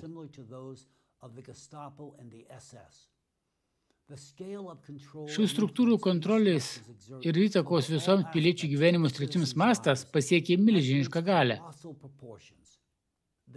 Jų funkcijos ir darbo metodai, pavyzdžiui, pilietinės kontrolės įgyvendinimas ir opozicijos slopinimas, vadinamųjų valstybės priešų kabutėse nustatymas ir persekiojimas, neteisminės represijos ir egzekucijos vis labiau primena liūdnai pagarsėjusią SS ir gestapo praktiką. Tiesą sakant, mes matome, kaip Rusijoje formuojasi šiuolaikinis šių represinių struktūrų analogas, pritaikytas 21 amžiaus realijoms. Tuo pat metu Rusijoje sparčiai vyksta nepriklausomos teismų sistemos degradacija. Vis dažniau teismų sprendimai priimami neremiantis faktais, įrodymais ar teisės aktais, o tiesioginiais vykdomaisiais valdžios, generalinės prokuratūros ir net artimiausios valstybės vadovo aplinkos atstovų įsakymais. Tai yra akivaizdus konstitucinių valdžių padalėjimo ir teismų nepriklausomumo principų pažeidimas. Šiandien teismai Rusijoje naudojami kaip priemonė kitaip manantiems slopinti ir netrenkti parodomosius teismus, kai prisidengus neaiškiamis savo įstatymo formuluotėmis, žmonės be pakankamų pagrindų paskelbiami ekstremistais ar terorizmo bendrininkais. Ši tendencija dabar ypač akivaizdi bylose susijusiuose su musulmonų deportavimu po teroristinio išpolio Krokus centre. Teismai dabar demonstruoja šališkumą ir neteisingumą, nepaisydami pagrindinių žmogaus teisių ir teisingumo principų. Ryškiausias tokio selektyvaus teisingumo atvejis, kai prezidento administracija darė spaudimą teismams, buvo Alatra organizacijos teismo procesas. Per Alatrą teismo procesą Rusijoje mes matėme akivaizdų įrodymų klastojimą, akivaizdų medžiagos klastojimą ir precedento neturinti kai kurių prezidento administracijos atstovų spaudimą teisėjams. Be jokių faktinių įrodymų, kaltinimai buvo išgalvoti tiesiog iš oro. Vėliau Alatra organizacijos veikla Rusijos teritorijoje buvo neteisėtai uždrausta. Po to tapome liudininkais neteisėtų sulaikymų, nepagristų kratų ir išsiveržimų į piliečių namus melagingomis dingstimis. Ypač liūdna, kad įstatymus gerbintys piliečiai, tikri savo šalies patriotai, tapo represijų aukomis. Žmonės, kurie nuširdžiai rūpinasi savo valstybės ateitimi ir galėtų neįkainomai prisidėti prie jos vystybosi, yra persekiojami ir iš jų atimamos net konstitucinės teisės ir laisvės. Tokie valymai yra nekas kita kaip šiuolaikinių nacizmo apraiškos. Fašistiniams režimams taip pat būdingas nuomonių pluralizmų žiniasklaidoje nebuvimas, žiniasklaidos kontrolė, griežta ideologinė cenzūra ir galinga valstybinė propaganda. Tai, ką šiandien matome Rusijoje, yra kur kas daugiau nei įprasta cenzūra ir reiškia siekį visiškai kontroliuoti šalies informacinę erdvę. Nepriklausoma Rusijos žiniasklaida patiria spaudimą. Jie vadinama užsienio agentais ir ekstremistinėmis organizacijomis, o tai iš esmės reiškia jaus veiklos draudimą. Cenzūra socialinėje žiniasklaidoje kasdien didėja, o platformos, kurių valstybė negali visiškai kontroliuoti, yra uždaromos. Neseniai įvykęs incidentas, kai Rusijos teritorijoje buvo uždrausta Rumble platforma, yra ypač akivaizdus. Šis sprendimas buvo priimtas ne dėl nacionalinio saugumo ar viešosios tvarkos pažeidimų, o tik dėl to, kad platforma atsisakė blokuoti organizacijos Alatra, kuris skelbia moksliškai pagrįstas klimato kaitos prognozes, įskaitant prognozes apie būsimą klimato padėties pablogėjimą pačioje Rusijoje kanalą. Iš tikrųjų, mes matome bandymą nuslėpti nuo piliečių gyvybiškai svarbę informaciją apie jų pačių šalies padėtį. Aš noriu išreikšti nuoširdžią padėką Rumble generaliniam direktoriui, Chrisui Pavlovskiui, kuris nepaisydamas grėsmės prarasti didelę rinką, liko ištikimas demokratijos ir informacijos laisvės principams. Jų atsisakymas nepagrįstai cenzūruoti organizaciją, kuri nieko nepažeidė, yra nepalaužiamų atsidavimų pagrindinėms demokratinėms valstybėms ir be kompromisų piliečių nenuginčiajimų teisių ir laisvių gynimo pavyzdys. Į ką šioje situacijoje turėtume atkreipti dėmesį? Gerbiama tarptautinė bendrovė Rusijoje buvo akimirksniu uždaryta, kai tik atsisakė vykdyti valdžios institucijų reikalavimus ir veikti prieš žodžio laisvės ir atviro keitimus informaciją principus. Šis incidentas nebėra tik pavojo signalas. Tai nuosprendis, skelbintis apie žodžių laisvės mirtį Rusijoje. Mes esame liudininkai, kaip kadaise buvusi atvira visuomenė virsta uždara sistema, kurioje tik valstybė nustato, kokia informacija bus prieinama piliečiams. Rusijoje vis dažniau pastebime precedentų neturintį valstybės kišimas į švietimą, kultūrą, mokslą, sportą, istorinę sąmonę ir net į privačių piliečių gyvenimą. Prisidengiant kilniais lozungais apie tradicinių ir šeimos vertybių išsaugojimą, vis griežčiau reglamentuojamas kasdieninis žmonių gyvenimas. Formuojasi valstybės vadovų asmenybės kultas, o tai yra tiesioginis fašizmo požymis. Žinoma, Putino kultas Rusijoje nėra toks stiprus kaip Hitlerio ar Stalino kultas, Tačiau prezidento Putino įvaizdis sistemingai keliamas į nacionalinių simbolių rangą. Viešajame diskurse formuojama lyderių neliečiamumo ir nepriklausomumo idėja. Jo žodžiai suvokiami kaip absoliuti tiesa, o jo vaidmuo pristatomas kaip būtinas pačiam valstybės egzistavimui. Šūkis Rusija egzistuoja dėl Putino Nėra Putino, nėra Rusijos. Vaizdžiai iliustruoja šią pavojingą tendenciją tapatinti lyderio asmenybę su visos šalies likimu. Šių veiksnių derinys – valdžios monopolizavimas, kitos nuomonės lupinimas, asmenybės kultas – yra klasikiniai praėjusio amžiaus totalitarinių fašistinių režimų bruožai. Rusijoje taip pat esama nacionalizmo ir rasizmo. Propaguojamas ypatingas rusų tautos išskirtinumas ir jos pranašumas prieš kitų šalies teritorijoje gyvenančių tautybių atstovus. Tokiomis aplinkybėmis auga migrafobija, paliekanti smurto, diskriminacijos ir širkščių įstatymų pažeidimų pėdsakus. Islamą išpažįstantys žmonės gyvena nuolatinėje baimėje ir tampa nebaudžiamos agresijos taikiniais. Pažeidžiamos jų teisės, pažeidžiamas saurumas ir nuolat grėsia pavojus jų gyvybei. Itil didelį nerimą kelia tai, kad valstybė ne tik nesugeba nuslopinti nacionalinių protrukių, bet ir tyliai juos skatina, plačiai nušviesdama žiniasklaidoje. Tokia politika gali turėti pražutingų pasiekmių. Šiandien, ypač po teroristinių išpolių Krokus centre ir Dagestane, įtampa Rusijos visuomenėje pasiekė kritinį tašką. Ir menkiausia kibirkštis gali sukelti neregėto masto sprogimą. Padėtis kasdien aštrėja ir mes su dideliu susirūpinimu pastebime, kad susidarė visus prielaidos tarp religiniam konfliktui, tarp krikščionių ir musulmonų pakurstyti. Kiti svarbus fašizmo bružai yra priešų įvaizdžių kūrimas ir šalies militarizavimas. Griežta valstybės vykdoma žiniasklaidos kontrolė atveria neribotas galimybės plataus masto propagandai.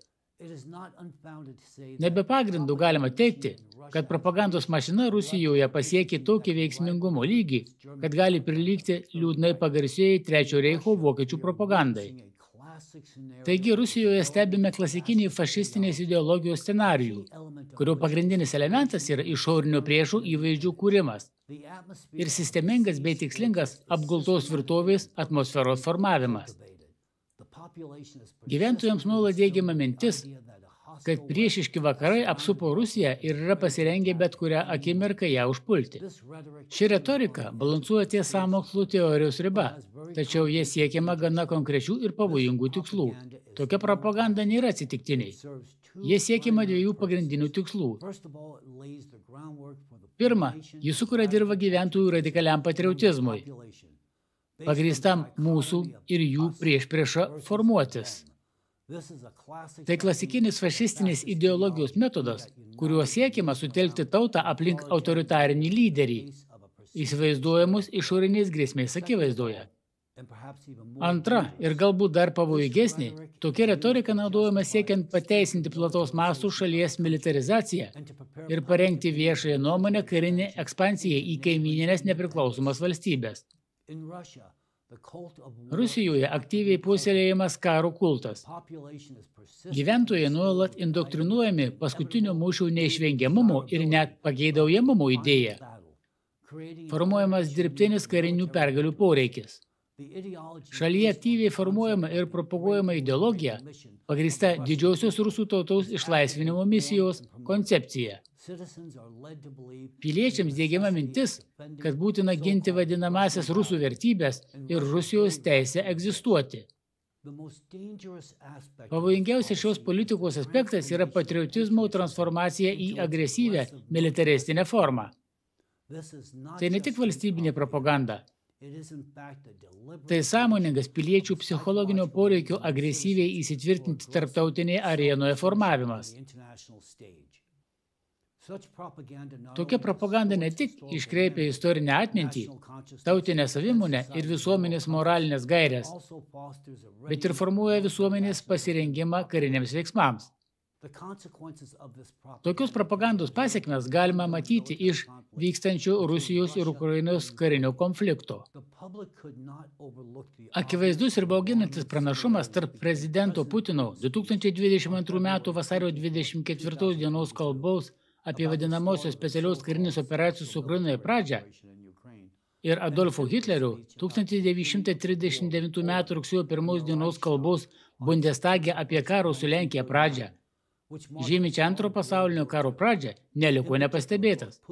Visų pirma, Putinas, kaip ir Hitleris, teigi, kad buvo priverstas griebtis karinės jėgos po to, kai išnaudojo visas taikias konfliktų sprendimo priemonės ir nesulaukė tarptautinės bendruomenės paramos savo taikos iniciatyvoms. Putino kalboje, kaip ir Hitlerio kalboje, buvo patikinimų, kad civiliams nebus grasinama, kad smūgiai bus vykdomi tik prieš karinius taikinius, vengiant civilinių taikinių patikinimai, kurie, kaip vėliau paaiškėjo, buvo apgaulingi. Taip pat Putinas ir Hitleris neigi kaimininių valstybių istorinį teisėtumą, tvirtindami, kad jos žemės istoriškai priklausė jų šaliai. Ir galiausiai abu melagingai tikino, kad neketino okupuoti kaimininės šalies teritorijos. Paralelis tokios akivaizdžios, kad jų negalima ignoruoti. Nacizmas yra 20 amžiaus pabaisa, palikusi žmonijos atmintyje neišdildoma tragedijos ir kančios pėtsaką, tapusi genocidu ir nežmogiškumo sinonimu. Tačiau dabar, 21 amžiuje, mes susiaubu stebime, kaip atvirai ir ciniškai Rusijos žiniatlaidoje pateisinama ukrainiečių tautos genocido būtinybė. Kaip ir tamsiais nacistinės Vokietijos laikais, šiandien vėl girdimi nepagristi teiginiai apie ukrainiečių civilizacinio turinio stoką. Ši retorika yra tiksli nacijų propagandos, neigusius iš tiesų tautų ir kultūrų teisį į egzistavimą kopiją. Būtina suprasti, kad pateikti valstybės politikos pavyzdžiai nėra pavienės ar spontaniškos priemonės. Priešingai, jie yra sėkmingos ir nuseklios strategijos, kurios galutinis tiklas – sistemingai ribauti piliečių teisės ir laisvės elementai. Tai yra tarpinis etapas kelyje į visišką pilietinių laisvių suvaržymą ir visišką valstybės vykdomą asmenų kontrolę. Mes negalime nekreipti dėmesio į istorinės paralelės su tuo, kad panašią taktiką kadaise naudojo Adolfas Hitleris, siekdamas įtvirtinti totalitarinį režimą Vokietijoje.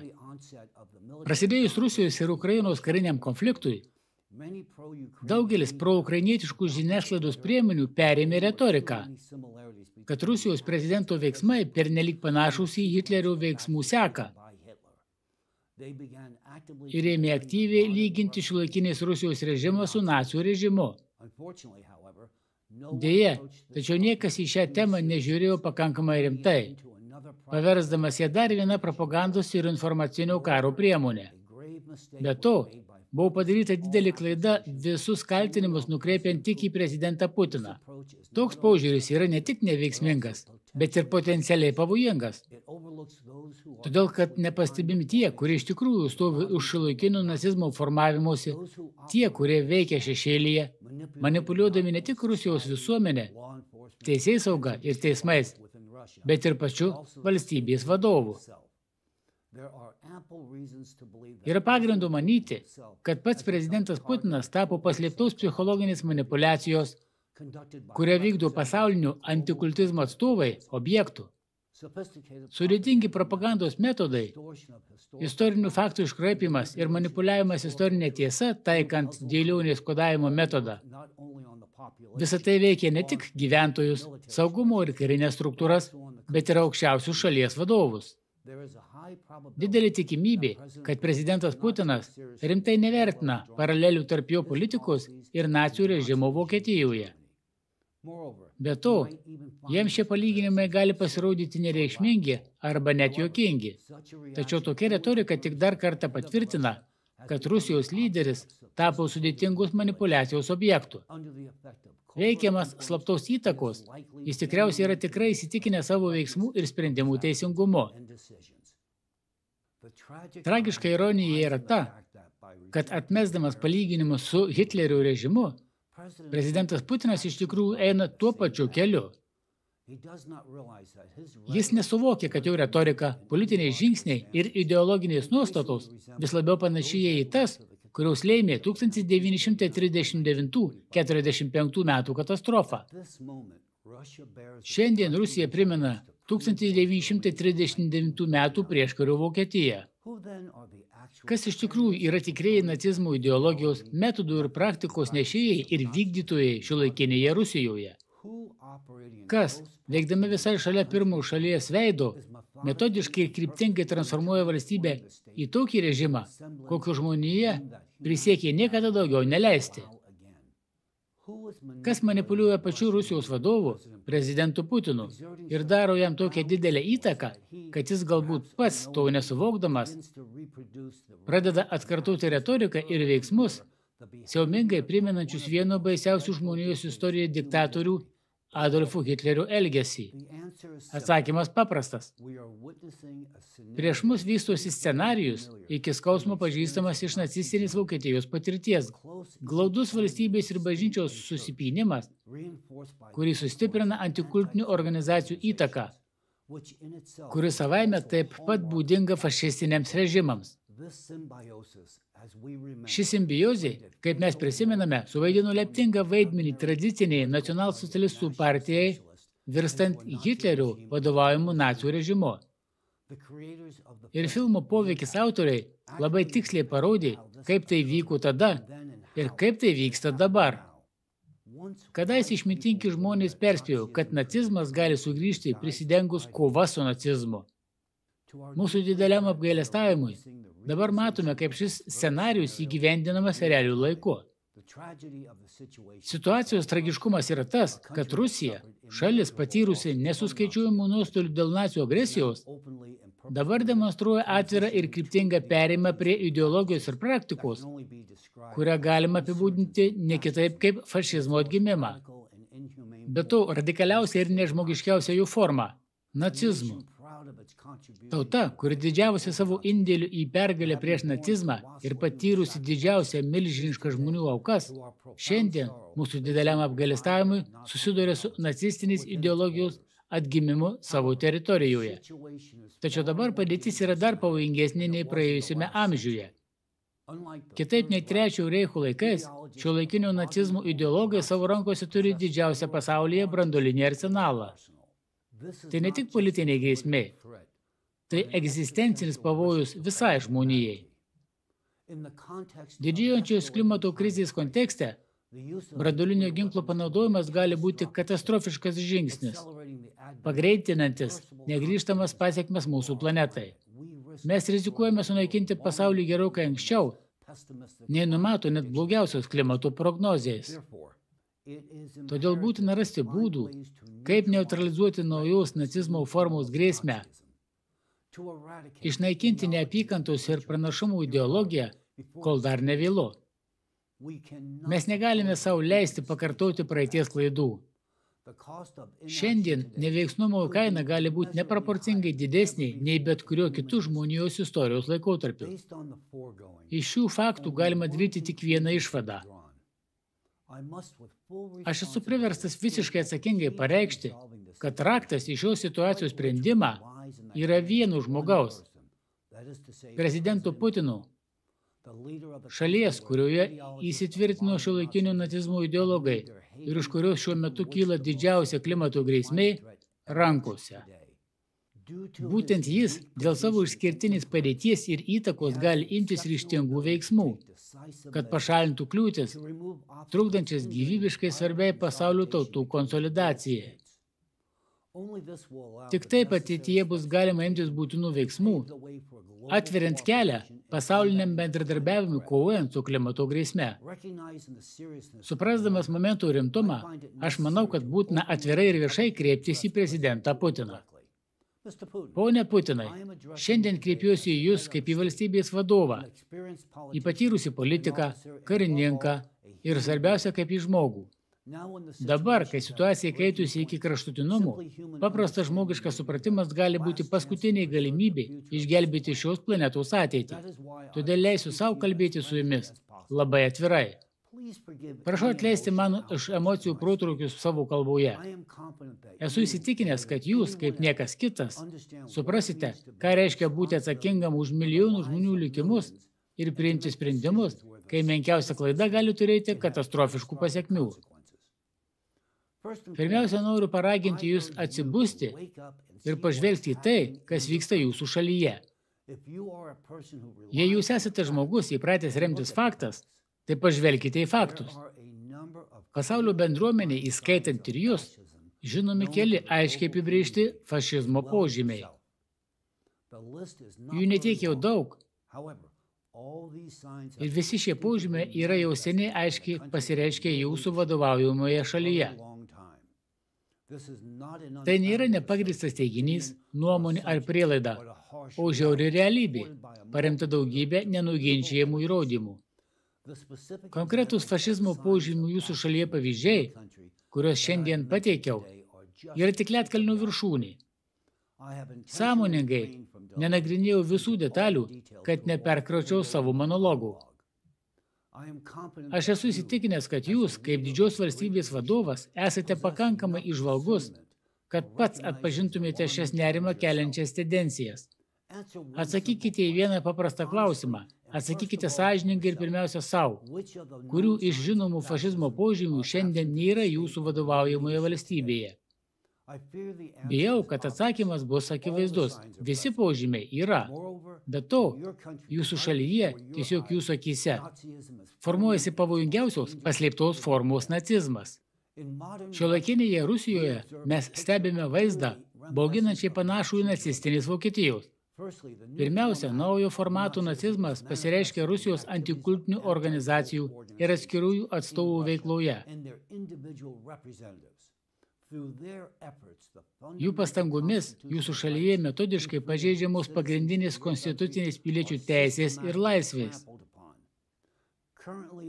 Šiuo metu joms pavyko pasiekti, kad nemažai religinių ir pasaulietinių organizacijų ir asmenų, politikų ir nuomonių lyderių būtų uždrausti ir paskelbti ekstremistais.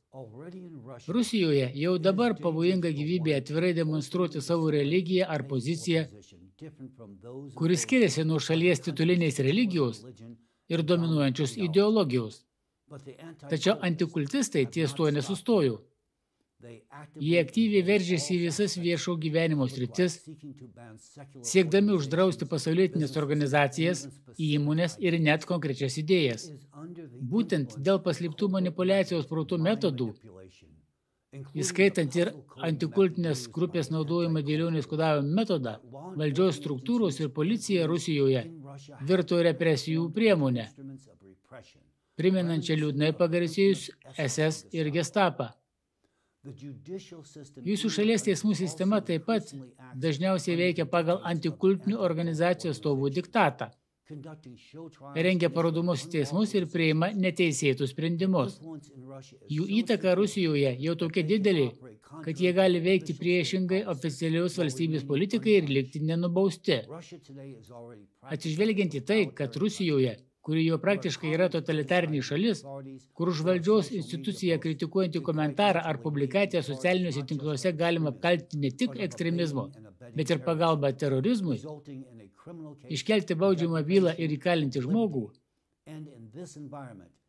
antikultininkai jaučiasi visiškai laisvai. Viešuose pasisakymuose žiniasklaidoje jie drįsta atvirai reikšti savo nesutikimą su jumis, prezidentė Putinai, prieštarauti jums, kaltinti jūs, polemizuoti su jūsų pozicija ir atvirai vykdyti veiklą, kuri tiesiogiai prieštarauja jūsų pareiškimams ir jūs nukreipta prieš valstybės interesus. Drįstu teikti, kad jūsų šalyje beveik nėra žodžių laisvės, todėl antikultininkai yra vieninteliai, kurie gali sauliaisti taip elgtis. Tai tiesiog įrodo jų didelę galę ir įtaką jūsų šalyje, taip pat ir jums, ponia Putinai. Be to, jūs pats vis dažniau atvirai kartuojate antikultininkų retoriką.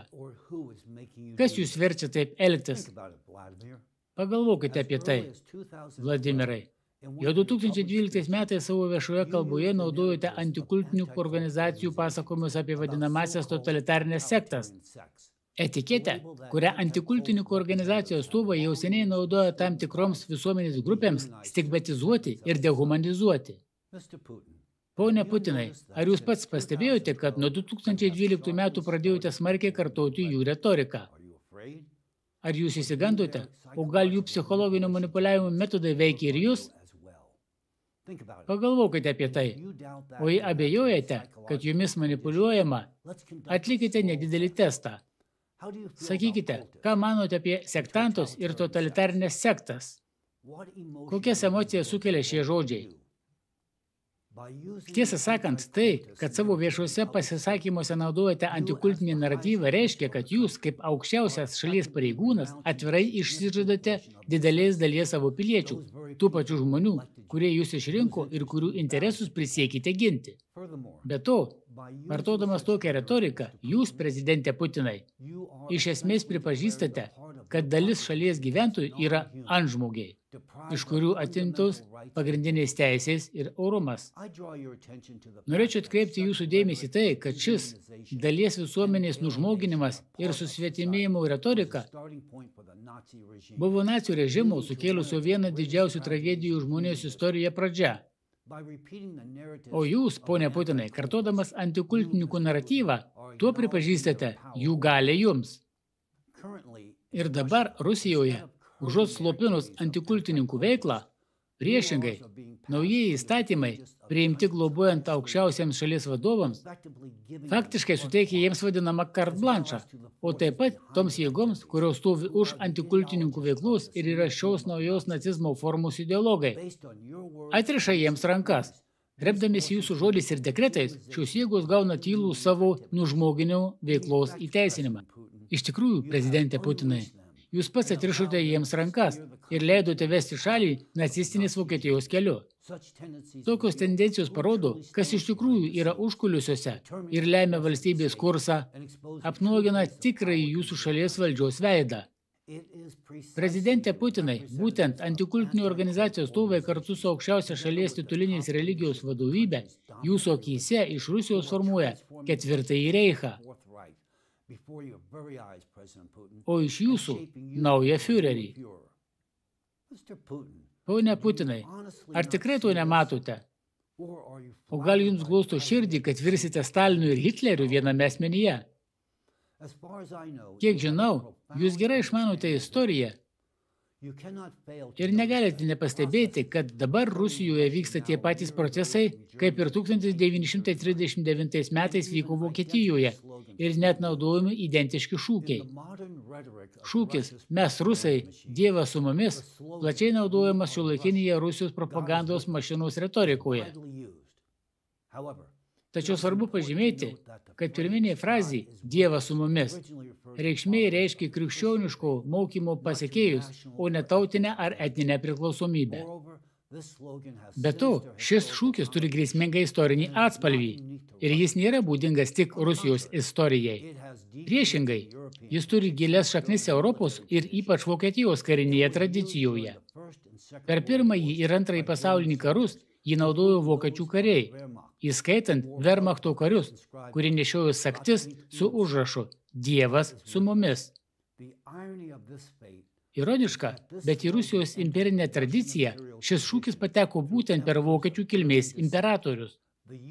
Šio šūkio naudojimas šiuolaikinėje Rusijos kariuomenėje aiškiai rodo, kad propagandos metodai naudojami agresijai ir militarizmui pateisinti.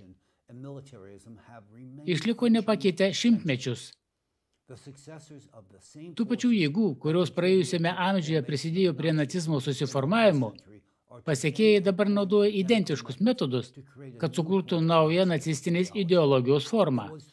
Būtent naudodami šiuos laikų patikrintus metodus, nacija 20 amžiaus pradžioje užkariavo Vokietijos visuomenę.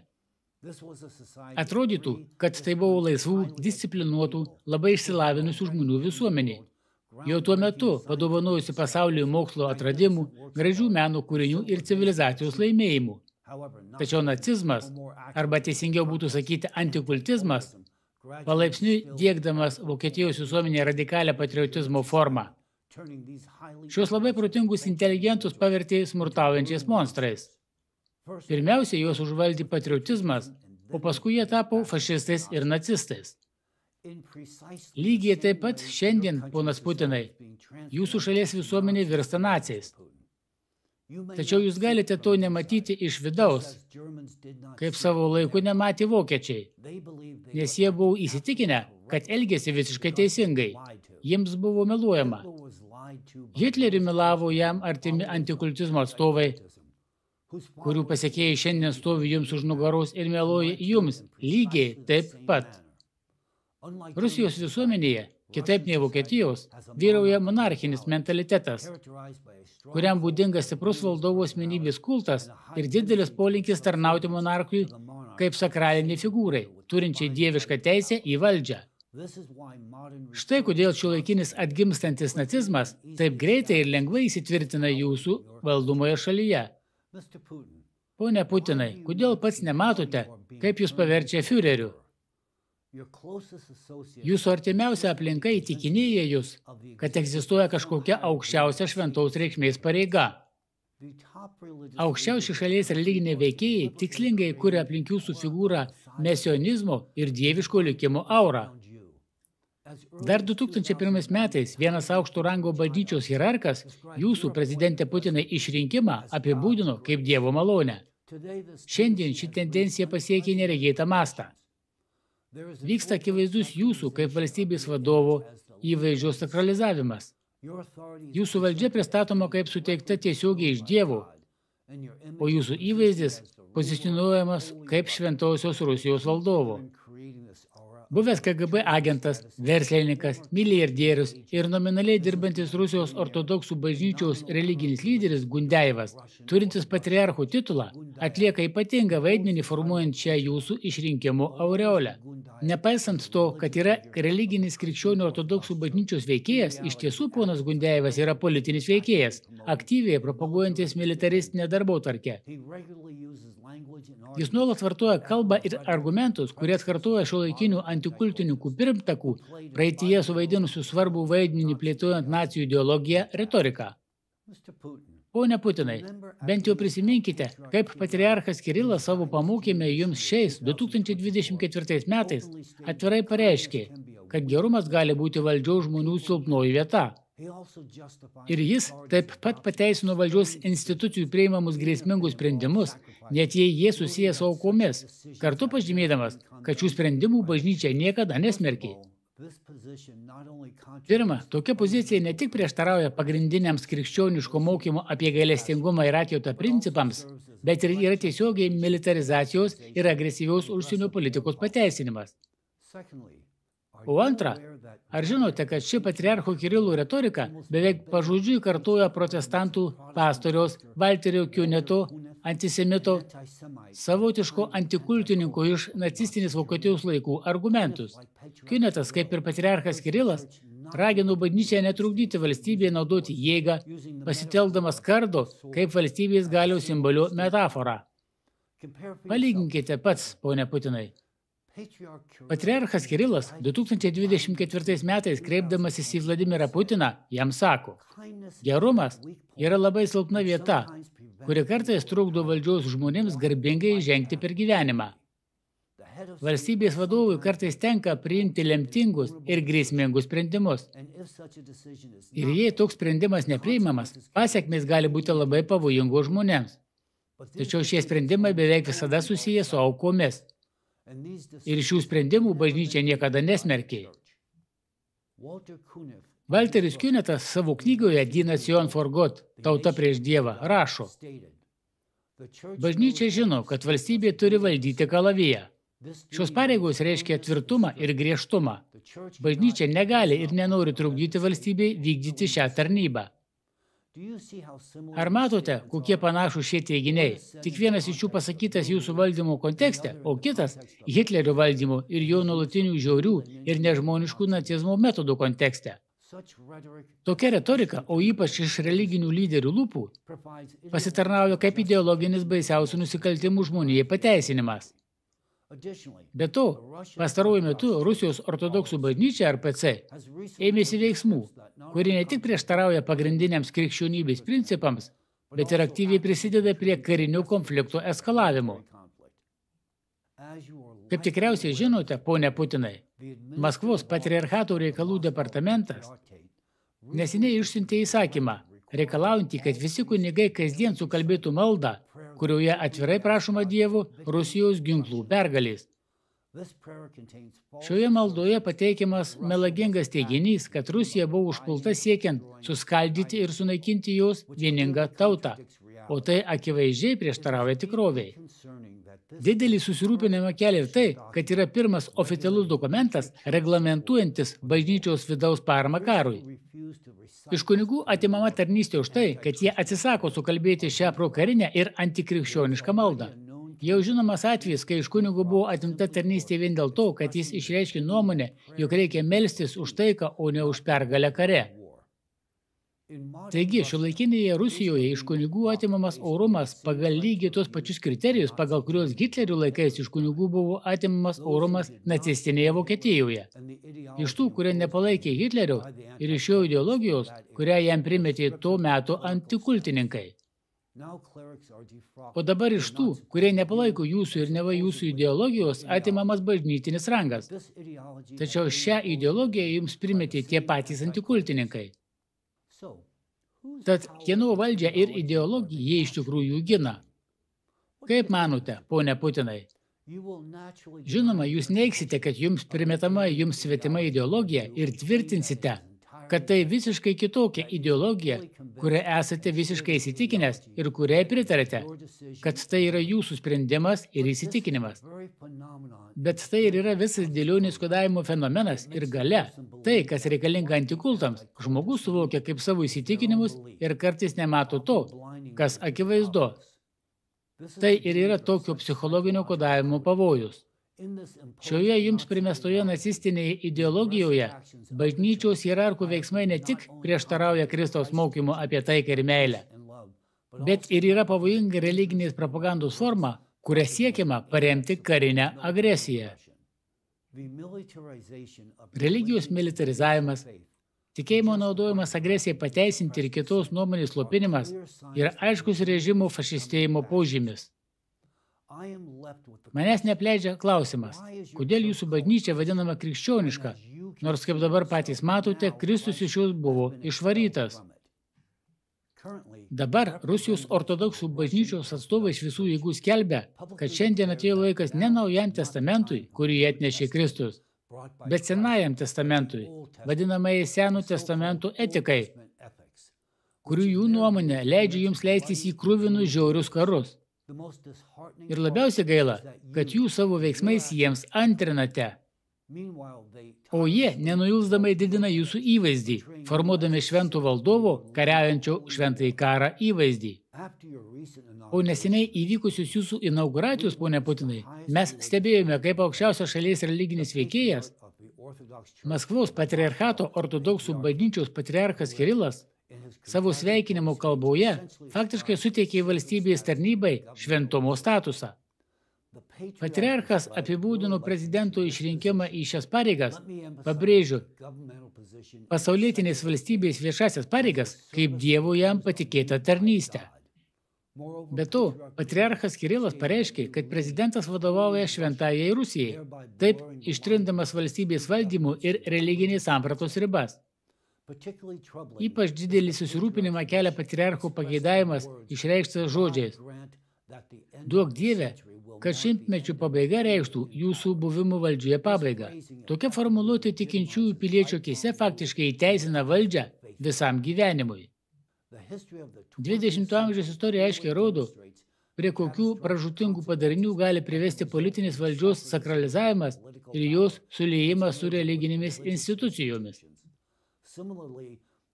Panašiai, sumaniai naudojant religinę simboliką ir retoriką, buvo dirbtinai sukurtas Adolfo Hitlerio asmenybės kultas. Tuo metu Vokietijos bažnyčios aktyviai dalyvavo politinėje agitacijoje, perrašinėdamos maldas, įtraukdamos į jas Führerio vardą. Hitlerio kalbas dažnai lydėdavo bažnyčių varpų skambėjimas. Ši technika darė stiprus pasamoninį poveikį klausytojams, dirbtinai pakeldama diktatoriaus figūrą žmonių sąmonėje iki mesijo lygio. Taigi, totalitarinių lyderių įvaizdžių sakralizavimas nėra naujas reiškinys. Turėtumėte žinoti, ponė Putinai, kad pats Adolfas Hitleris buvo giliai įsitikinęs savo tariamai šventą misiją ir buvo apsėstas tariamo dieviško likimo idėjų. Šiandien jūsų artimiausia aplinka jums dėgia panašias idėjas apie jūsų ypatingą misijinį vaidmenį. Tokia retorika yra ne tik pavojinga, ji gali būti pražutinga. Nes kai valstybės vadovas yra taip intensyviai ideologiškai ir psichologiškai apdorojamas, kai jis ne tik įsitikinę savo veiksmų absoliučiu teisingumu, bet ir save laikų dieviškos misijos vykdytojų, tai sudaro prilaidas nenuspėjamoms ir potencialiai destruktyvioms pasiekmėms. Negalime ignoruoti fakto, kad panašiais metodais aukštų rangų religijos atstovai ir antikultiniai veikėjai sukūrė Hitlerių asmenybės kultą, kurio veiksmai sukėlė neįsivaizduojamas milijonų žmonių kančias ir pasaulinę katastrofą. Juk tiesiogiai 20 amžiaus nacizmo ideologų ir kuriejų Vokietijoje pasiekėjai dabar šį scenarių kartoja Rusijoje. Lieka atviras tik vienas klausimas. Ar jūs, prezidentė Putinai, suprantate, kas vyksta? Visai gali būti, kad tikrai ir nuoširdžiai tikėjote, kad kovojate su nacizmu, nepastebėdamas, kaip iš jūsų nugaros tikrieji nacistai pamažu paverčia Rusiją ketvirtuoju reichu. Jums buvo įskiepyta mintis, kad jums tenka didelė lemtis ir ypatinga atsakomybė. Ir aišku, jūs tuo patikėjote, manydamas, kad esate išrinktasis. Tačiau akimirką pagalvokite, koks tas likimas ir tariamai didelė atsakomybė, kurią jums uždėjo šie nacijų ideologai. Atgaivinti nacizmą, kurti ketvirtą reichą, Aš suprantu, kad tikėti, jog jūsų misija tokia didelė ir kad pats Dievas jums liepia ją atlikti, glaustų savimeilę. Bet kas jums tai pasakė? Naciai, kurie nužudė krikščionybės religiją ir išvėjo Kristų iš jūsų bažnyčios. Jėzus Kristus mus mokė, mylėkite vieni kitus. Bet ko moko ir ragina tie, kurie prisidengia Kristaus vardu, jūsų šalį veda į nacizmo pragarą, ir jūs jų klausote? Taip, tai džiugina jūsų ausis, bet ką reiškia žmonėms gyventi atgimstančio nacizmo priespaudoje? Pone Putinai, ar jūs kaip žmogus, mylintis istoriją ir gerai ją išmanantis, nepastebite, kad dabartinis jūsų šalies kursas ir tragiškas nacistinis Vokietijos kelias Hitlerio laikais yra labai panašus? O gal jūs sąmoningai ignoruojate akivaizdžius faktus, vedančius jūsų šalį ir visą pasaulį prie bedugnės krašto? Ar jūs, ponė Putinai, nepastebite panašumo tarp jūsų šalies propagandos šūkių ir pasakojimų bei nacistinės Vokietijos propagandos šūkių ir retorikos? Ar nepastebite, kad pas jo einate tuo pačiu keliu kaip Hitleris ir net kalbate jo žodžiais. Prisiminkite istoriją. Hitlerio kelias prasidėjo nuo paprastos partijos darbininkų ir krikščionių labui. Bet kai tik susidėjo su antikultisais ir kai kuriais įtakingais religiniais veikėjais, virto pasaulį sukrėtusių monstrų. Šiandien jūs, ponė Putina, ir jūsų partija einate tuo pačiu keliu ir žingsnis po žingsnio kartojate šį lemtingą kelią. Tiesa ta, kad už jūsų nugaros stovi tiesioginiai paveldėtojai ir pasiekėjai tų, kurie kadaise pagimdė nacizmą ir manipuliavo Hitleriu. Tos pačios grėsmingos jėgos, kurios kadaise įstumė pasaulį į karo ir kančių bedugnę, šiandien traukia jūs valdančiomis virvelėmis. Atidžiai pažvelkite į tuos, kurie stovi už jūsų nugaros. Taip, mes žinome, kad sąmoningai sukūrėte konkuruojančių žmonių grupės savo artimame rate. Jūs siekite išlaikyti galios pusiausvyrą, kad išliktumėte neprilykstama žaidėja šiame sudėtingame politinėme žaidime. Jūs stenkite sudėlioti figūrą šachmato lietuje taip, kad niekas negalėtų jūsų įveikti. Jūsų strategija buvo puikia, tačiau pripažinkite, viena iš tų frakcijų pranoko ne tik savo varžovus, bet ir jūs patį. Dabar, nors manote, kad viską kontroliuojate, tikrovė ta, kad ši konkreti grupuotė jau seniai jumis manipuliuoja. Jums galioja jų diktuojamos sąlygos.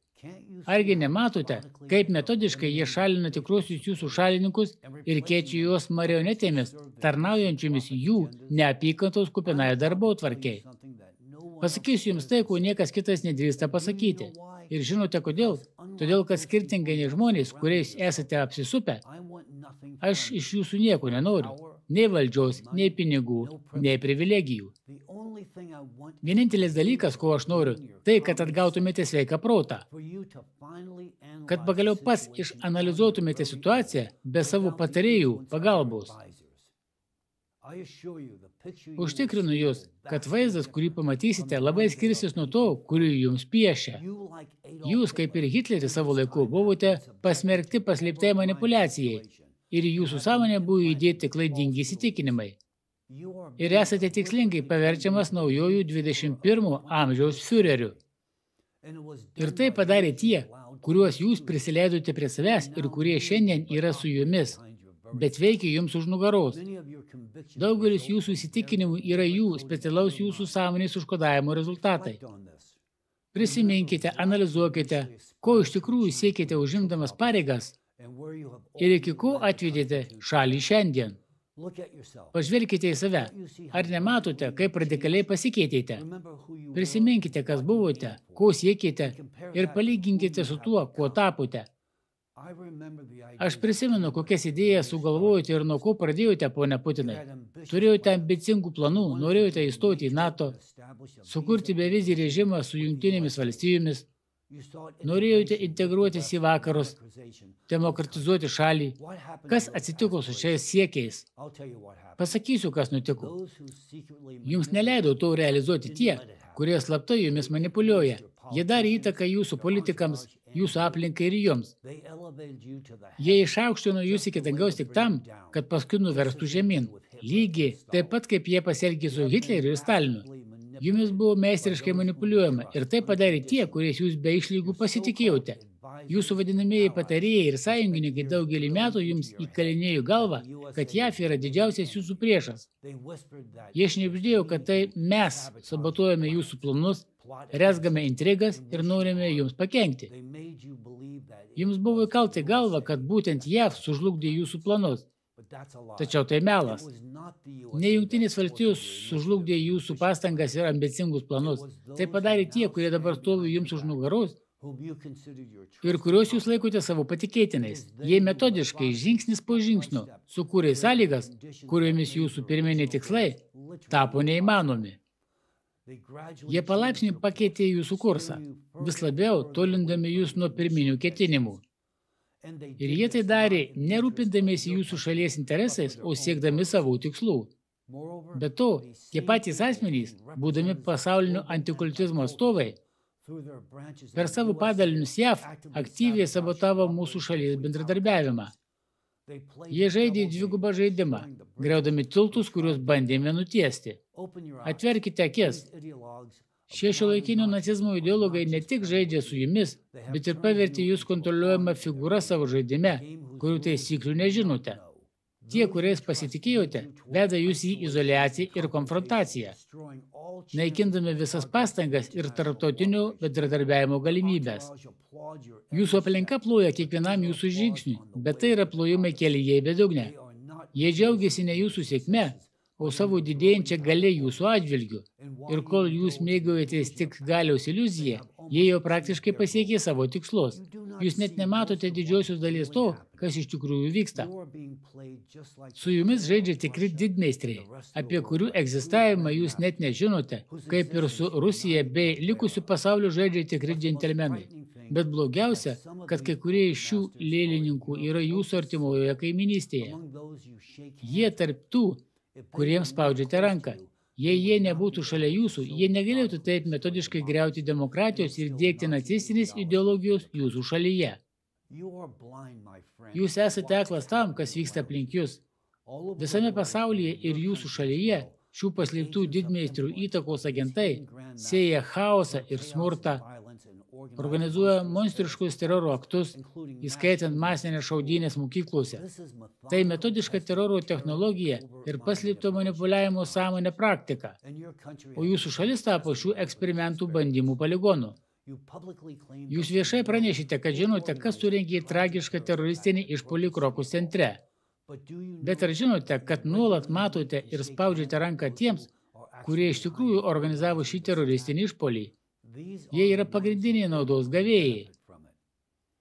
Susitikę su jumis asmeniškai, jie šypsosi jums į veidą ir apipila jūs liopsėmis. Ir tuo pat metu jie yra tie, kurie už jūsų nugaros kruopščiai suplanavo ir įgyvendino krokus. Jie tai padarė siekdami pirmą, susilpninti jūsų pozicijas ir parodyti, koks pažeidžiamas esate, o antra, jiems reikėjo šio teroristinių išpolių kad supriešintų krikščionis ir musulmonus tarpusavyje, sukurstytų tarp religinę neapykantą, sukeltų įtampą šalyje, išvarytų musulmonus migrantus ir iš esmės susilpnintų islamą Rusijoje. Tai dar vienas žingsnis jūsų kurtoje strategijoje, kuria jie siekia artimiausiu metu pakeisti Rusijos likimą. Suprantama, kad šį Rusijos ateities scenarijų žino tik tam tikri jūsų FSB, tiksliau gestapo atstovai, bet jie niekada jums apie tai nepapasakos. Tai, ką sakau, nėra prognozija ar pranašystė, tai tik kokybiškos žvalgybos rezultatas. Tikros žvalgybos. Tai, ką šie naujo formato nacistai padarė jūsų šaliai, peržengi visas įsivaizduojamas ribas. Tai praktiškai atviras nacizmas. Ir viskas, kai jiems tai reikia padaryti, tai atvirai tai paskelbti. Pasaulinio antikultizmo įtakoje Rusija šiandien virsta ketvirtojų reichų. Bet aš pažįstu Rusiją tokią, kokia ji buvo, nes ten dirbau. Ar jūs, ponė Putinai, nematote šio skirtumo? Ar jums niekada neskauda širdies, kad kruvinųjų nacizmo pabaisa vėl kelia galvą jūsų gimtoje žemėje, o jūs tampate jos šventojų fiureriu? Pone prezidente, leiskite priminti jums jūsų tėvą, kurio nuotrauką išdidžiai nešate rankose, kai gegužės 9 dieną dalyvaujate iškilmingoje pergalės parado eisenoje. Jūsų tėvas buvo didvyris, kovojęs prieš nacizmą per antrąjį pasaulinį karą, kuris Rusijoje pagristai vadinamas didžiųjų tėvynės karu. Nes tai buvo kova ne tik dėl teritorijos, tai buvo karas už gimtinę, už žmoniją ir už tėvynę, už visuotinį žmogišką tėvų ir senelių paveldą, kuris per tūkstantmečius nešė ir perdavė žmogiškumų, laisvės ir taikos idealus. Jūsų tėvas, tarnavęs po vandeninėme laivynė ir gynęs Leningradą, jūsų gimtąjį miestą, neįkainojamai prisidėjo prie pergalės prieš nacizmą šiame kare. Jo krūtinė pagristai puošė daugybę medalių, jo didvyriškumo įrodymas. O jūsų motina, ji, kaip ir milijonai kitų leningradiečių, patyrė blokados baisumus tame pačiame mieste, kurį drąsiai gynė jūsų tėvas. Jo drąsa ir pasiaukojimas padėjo sutriuškinti monstrišką nacizmo mašiną. Skaudu matyti, kaip jūs, didvyrų sūnus, šiandien leidžiate atgimti blogį, prieš kurį taip desperatiškai kovojo jūsų tėvai. Ar jums negėda išduoti jų atminimą ir tikėjimą? Ar jums negėda spjaudyti į veteranų sielas, į mylimus žmonės, kurie atidavė savo gyvybės, kad baisi nacizmo našta daugiau niekada neužgniauštų jūsų pasaulio? Juk Rusijoje beveik nėra šeimos, kurioje kas nors nebūtų žuvęs kovoje su nacizmu. O dabar jūs juos visus išduodate. Kreipiuosi į jūsų sąžinę, ponė Putinai, ir į tą jūsų sielos dalį, kuri vis dar prisimena praeities pamokas. Jūs gerbė kaip vyrą, kaip žmogų, kuris laikosi duotų žodžių, jumis pasitikėjo, o jūs pasitikite naciais. Pabuskite, kol dar nevėlu. Dėl savo tėvų atminimų, dėl savo vaikų ateities, neleiskite nacizmui galutinai nugalėti. Pone Putinai, nacizmas jūsų šalyje yra ne tik grėsmė Rusijos visuomeniai, bet ir pasaulinio masto katastrofa. Ir ne tik dėl žiauraus ir antihumaniškų paties nacizmo metodų ir praktikos pobūdžio, bet ir dėl to, kad už jūsų nugaros esanti jėga siekianti atgaivinti nacizmą. Tiesiogiai trukdo spręsti pagrindinį jūsų laikų iššūkį – klimato krizę. Dar daugiau, ji provokuoja jos gilinimą – Šio proceso pasiekmės yra siaubingos ir negrįžtamos. Jūs esate verčiamas manyti, kad neva kontroliuojate situaciją šalyje visais aspektais, tačiau tuo pat metu užkulisiniai veikėjai lemia valstybės ateitį, jums nedalyvaujant. Taigi, prisidengiant kova su ekstremizmu Rusijos teritorijoje, skatinant antikultinės organizacijoms, naikinama daugybė organizacijų ir asociacijų, kurios nekelia jokios objektyviaus grėsmės šaliai. Be to, kaip jau minėjau, po šiuo represiniu ratu varomų nacistų ambicijų pateko organizacija Latra, kurios dalyvių moksliniai pasiekimai nešė jūsų šalį ir pasauliui milžinišką naudą. Alatra mokslininkai ne tik perspėjo apie klimato pavojų, bet ir sukūrė bei paleido eksperimentinę įrangą skirtą klimato kaitai sušvelninti Rusijoje, o kartu ir pasaulyje. Jau dešimtmetį šį įrangą tarnavo kaip patikimas skydas, padedantis suvaldyti niokojančius klimato katastrofas jos įtakoje esančioje teritorijoje. Kadangi Alatra veikla buvo sustabdyta dėl lemtingų tam tikrų asmens iš jūsų administracijos skambučių ir spaudimo teismams bei teisėsaugos institucijoms, eksperimentinės įrangos darbas taip pat buvo sustabdytas. Šių sprendimų pasiekmės aiškios ir dėje katastrofiškos. Beprecedentis klimato katastrofų dažnėjimas ir stiprėjimas Rusijoje – kaimininėse valstybėse ir visame pasaulyje. Pone Putinai, leiskite su jumis pakalbėti ekonomikos kalba. Pažvelkite į šokiruojančius skaičius. Grafike aiškiai matyti, kiek nuostolių Rusijos biudžetas patyrė dėl klimato katastrofų nuo tada, kai buvo išjungta įranga. Tai yra nuo 2023 m. rūpiučio mėnesio iki šiandien. 2024 m. Liepos mėnesio. Šių nuostolių suma siekia 114 milijardų rublių. O dabar palyginkite šią nuostolių sumą per 11 mėnesių laikotarpį su nuostolių suma per 10 metų laikotarpį, kol veikia įranga. Per 10 metų nuostolių suma siekia tik 191 milijardą rublių. Ar jums nekelia nerimo tai, kad 11 mėnesių ekonominių nuostolių sumas beveik prilyksta 10 metų sumai? Per vienus metus jūs praradote beveik tiek, kiek per praėjusį dešimtmetį. Tai ne tik statistiniai duomenys, tai realus jūsų šalies biudžeto žlugimas. Panagrinėkite dar vieną faktą. 2022 metais per visus metus Rusijos nuostoliai dėl klimato žalų sudarė apie 7 milijardus rublių. O 2024 metais tik viena klimato katastrofa Orenburgė jums kainavo 40 milijardų rublių. Ir tai tik pradžia. Rusijai artimų šalys – Kinija, Kazakstanas, Baltarusija ir Rytų Europa – taip pat nukentėjo dėl eksperimentinės įrangos sustabdymo. Pakanka išstudijuoti 2024 metų klimato naujienų suvestinę šiuose šalyse, kad įsitikintume, kolosalius situacijos pablogėjimu ir didžiuliu ekonominiu nuostoliu buvimu. Galingos liūtis, neįprasta kruša, rekordiniai potiniai ir vėjai, greunantis infrastruktūrą, miestus, žmonių likimus, darantys žalą biudžetams. Tai kokia yra kaina už tai, kad Alatra buvo išvaryta iš Rusijos ir persekiojama Ukrainos teritorijoje? Kas atsakys už šį beprotišką sprendimą, dėl kurio dabar kenčia ir Rusija, ir visas pasaulis. Turės atsakyti tie, kurie suklastojo ekspertizę teismui prieš Alatrą.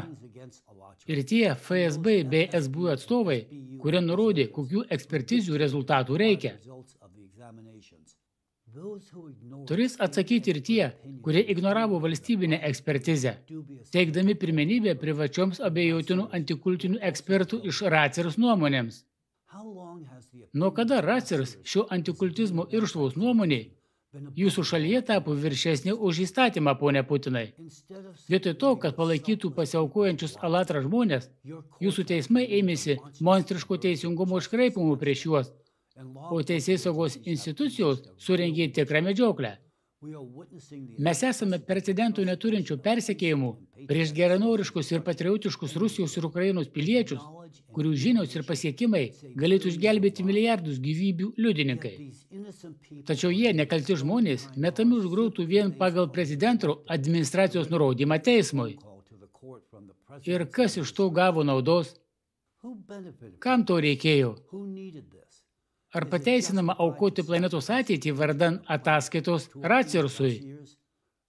Atrodo, kad Rusijoje susiformavo ypatinga, žalinga praktika. Užuot išsiaiškinę situaciją ir susidraugavę su tais, su kuriais reikia draugauti, ir nubaudę tuos, kuriuos reikia bausti, jūs, kaip visada Rusijoje, baudžiate nekaltuosius. Ar turite tokią tradiciją? Norėjau kreiptis į jūs rusiškai, ponė Putinai. Dokole eto būdėt. Įvertinkite, kas dabar vyksta jūsų šalyje. FSB naudoja gestapo metodus, išlaužia duris ir tyčiojasi iš piliečių, kurie visą gyvenimą dirbo šalies labai, buvo jai labai naudingi ir galėtų padaryti dar daugiau gero savo tėviniai.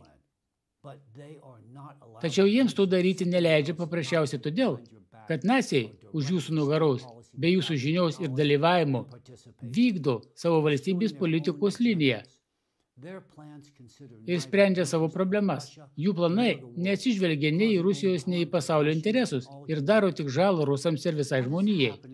Tai, kas dabar vyksta Rusijoje, yra ne tik neteisėtumas, bet ir nacizmas.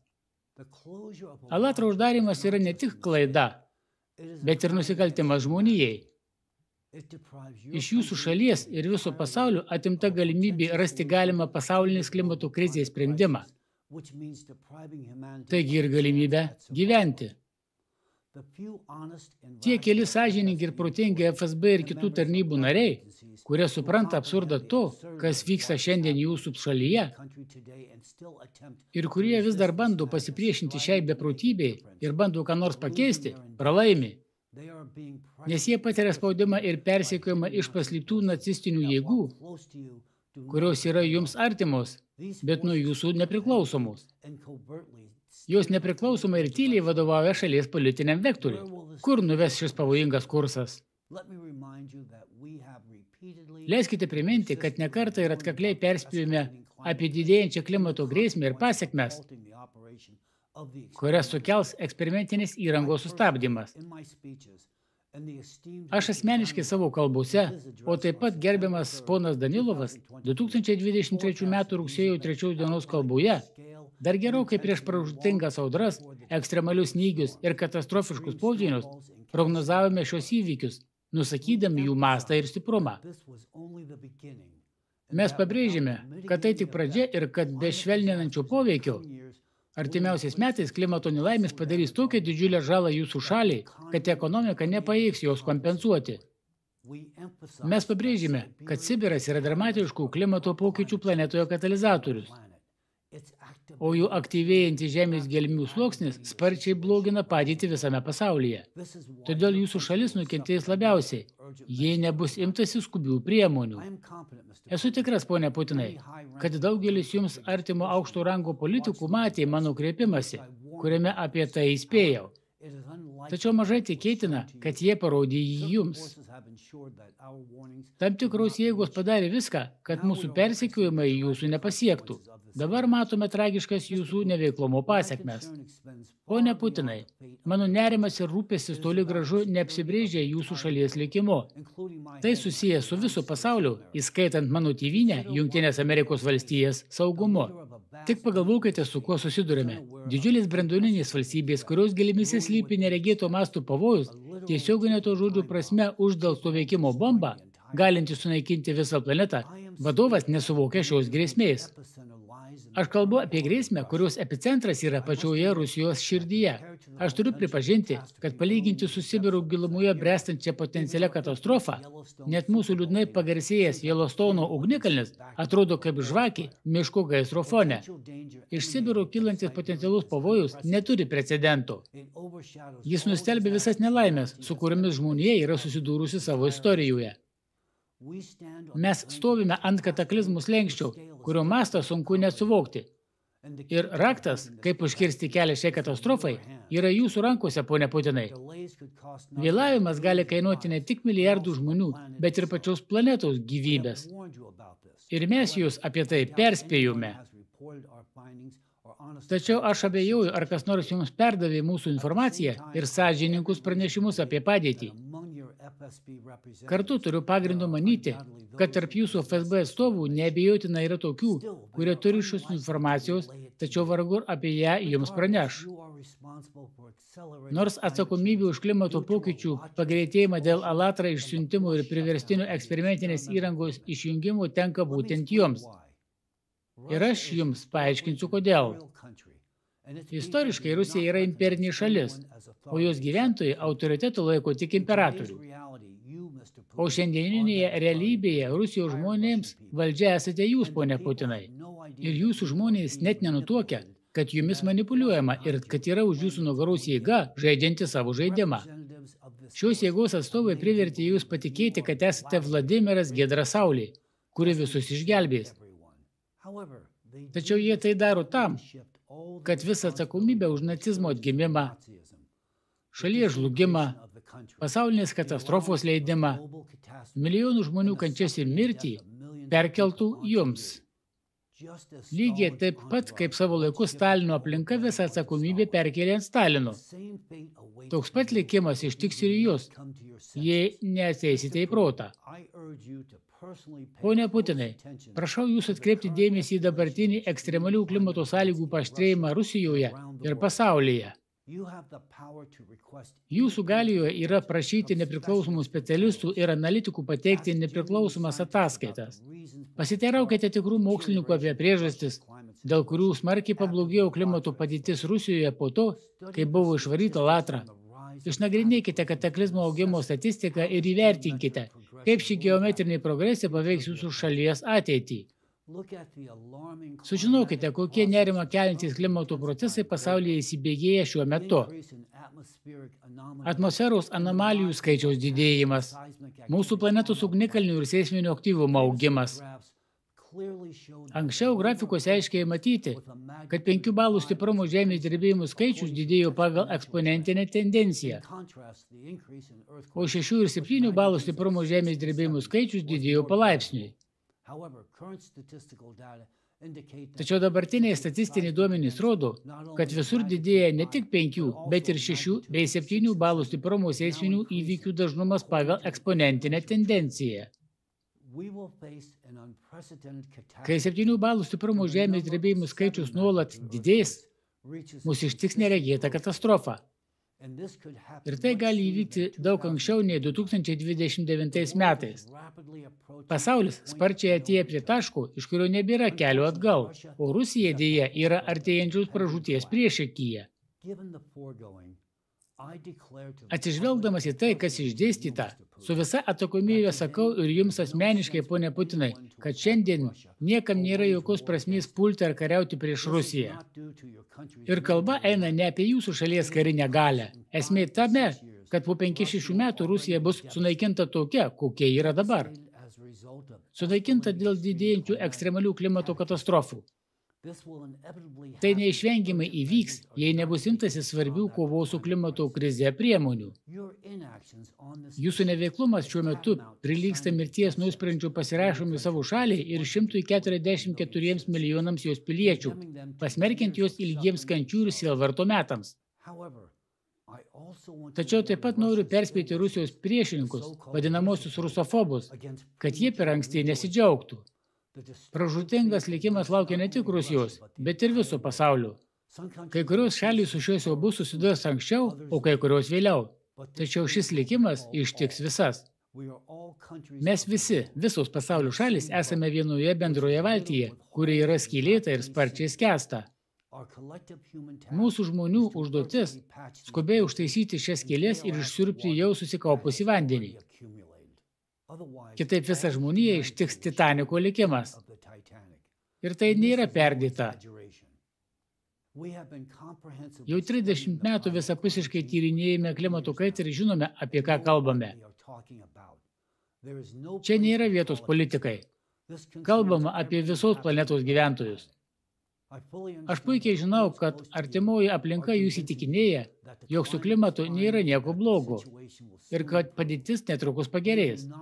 Jie neleidžia jums suvokti tikrosios grėsmės ir tiesos apie tai, kas vyksta jūsų šalyje, nes jie jums skyrė kitokį vaidmenį. Be to, jie aptemdo jūsų suvokimą skleidžiamomis kalbomis, kad esate išrinktasis tautos, Rusijos ir viso pasaulio gelbėtojas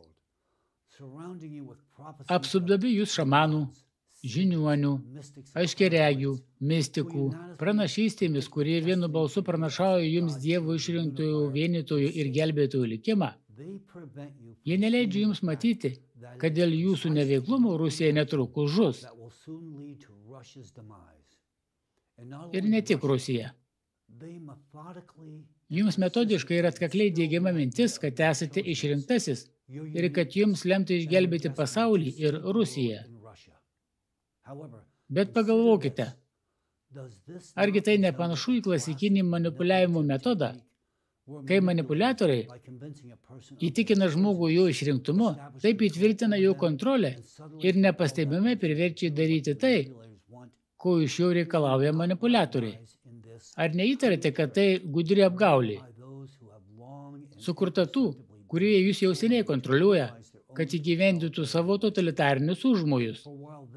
Juk nors jie jums pasakoja apie jūsų aukštą išgelbėjimo misiją, tikrovė dėja pasirodo esanti kur kas niūresnė. Nenumaldomų greičiau auga pavojus, kad galite likti ne tik gelbėtojų, o priešingai. Ne tik savos šalies, bet ir visų žmonijos pražūties priežastimi. Pone Putinai, dabar kreipiuosi jūsų protą ir sąžinę. Ateikite į protą. Visos šios pranašystės ir prognozės yra meistriškai supintas pasakojimų tinklas, skirtas jūsų sąmonė užprogramuoti. Jūs esate koduojamas, jumis manipuliuojama ir dėje jūs pasiduodate šiai įtakai. Man labai liūdna matyti, kaip pamažu prarandate gebėjimą mąstyti savarankiškai ir kritiškai, tapdamas pasąmonio kodavimo auka tų, kurie išdavė Kristaus pasiekėjus ir tapo nacizmų bendrininkais. Pone Putinai, galėčiau pateikti dar daugiau faktų, tačiau mano turima informacija negali būti viešai skelbiama. Daug ką galėčiau Jums papasakoti asmeniškai, akis į akį. Galėčiau papasakoti dalykų, kurių Jūs net nežinote. Tačiau mažai tikėtina, kad nacijų jėgos už Jūsų nugaros leistų tokį susitikimą. Savo ruošto esu pasirengęs suteikti Jums daug daugiau informacijos. Tai klausimas apie Jūsų šalies ateitį. Nemiglotos prognozijas, o moksliškai pagrįstos prognozijas kiekvienais metais. Jūs turėtumėte žinoti, kad jūsų šalis atsidūrė ant katastrofos, kurios mastų net neįsivaizduojate, slengščių. Geologinė padėtis yra daug rimtesnė nei jums sakoma. Pavyzdžiui, ar turite informacijos apie tai, kaip arti paviršiaus yra magma po Sibiro platforma?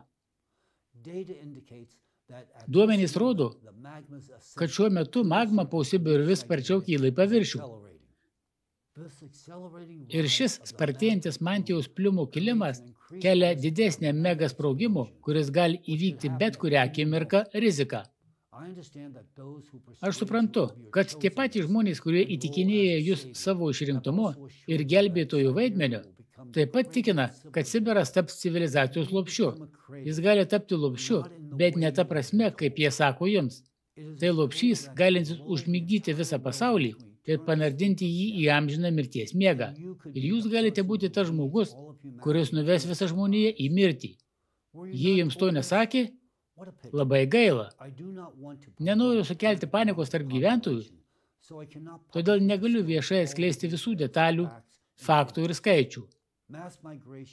Masinė žmonių migracija iš Rusijos į kitas teritorijas šiuo metu yra labai nepakeidautina ir gali pabloginti padėtį. O migracija yra neišvengiama. Tik beprotis pasiliktų jūsų šalies teritorijoje, jei sužinotų apie tikrąją padėtį. Ši informacija yra pernelyg svarbi ir subtili, kad ją skelbtume viešai. Aš esu pasirengęs pateikti ją jums asmeniškai. Užtikrinu jūs, kad ši informacija gali iš esmės pakeisti jūsų supratimą apie dabartinę padėtį ir jūsų šalies ateitį. Suprantu, kad artimiausių metų į JAF neatvyksite, Todėl sutinku su jumis susitikti neutralioje teritorijoje. Jei žinoma nacijai, kurie jumis manipuliuoja, leis tai padaryti, kuo aš labai abejoju. Grįžkime prie absurdiškų pasisakymų ir veiksmų, kuriuos daro jūsų artimi asmenys, prisistatantys dvasiniais vadovais. Priminsiu, kad tie patys religiniai veikėjai, kurie jums pila medų į ausis apie jūsų išrinktumą ir tikina, kad klimato problemos išsispręs savaime, siūlo kovoti su didėjančiomis stikinėmis nelaimėmis labai abejotinais metodais. Turiu omenyje tokius veiksmus, kaip demonstratyvūs skrydžiai su ikonomis virš potvinių zonų ar viešos maldos už stichijų sušvelninimą. Mes stebėjome, kaip šių metų balandį viename iš jūsų miestų buvo bandoma sutvarkyti sugedusią užtvanką, kunigui surengus specialias pamaldas. Žinoma, tai nepadėjo. Praėjus pusantros paros po pamaldų, užtvanka pratrūko ir tūkstančiai žmonių bei namų atsidūrė užtvindimo zonoje.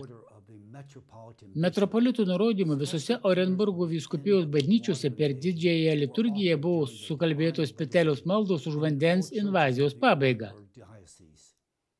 Tačiau padėtis ir toliau blogėjo. Po balandžio 11 dieną, Kurgano srityje, palaikymi valstybės dūmos deputatų, kunigai nusprendė imtis radikalesnių priemonių. Jie skraidė virš už Lietuvos teritorijos su Dievo motinos ikona. Pagal jų planą skrydžio tikslas buvo nuraminti stichiją ir apsaugoti nuo tolesnio pavojaus. Tačiau ir kunigų maldos ir skrydžiai su ikona vėl buvo bejėgiai. Galingas vanduo ir toliau plūdo. O balandžio 13 dieną vandens lygis pasiekė aukščiausią lygį ir toliau užtvindė naujas teritorijas ir ūkius.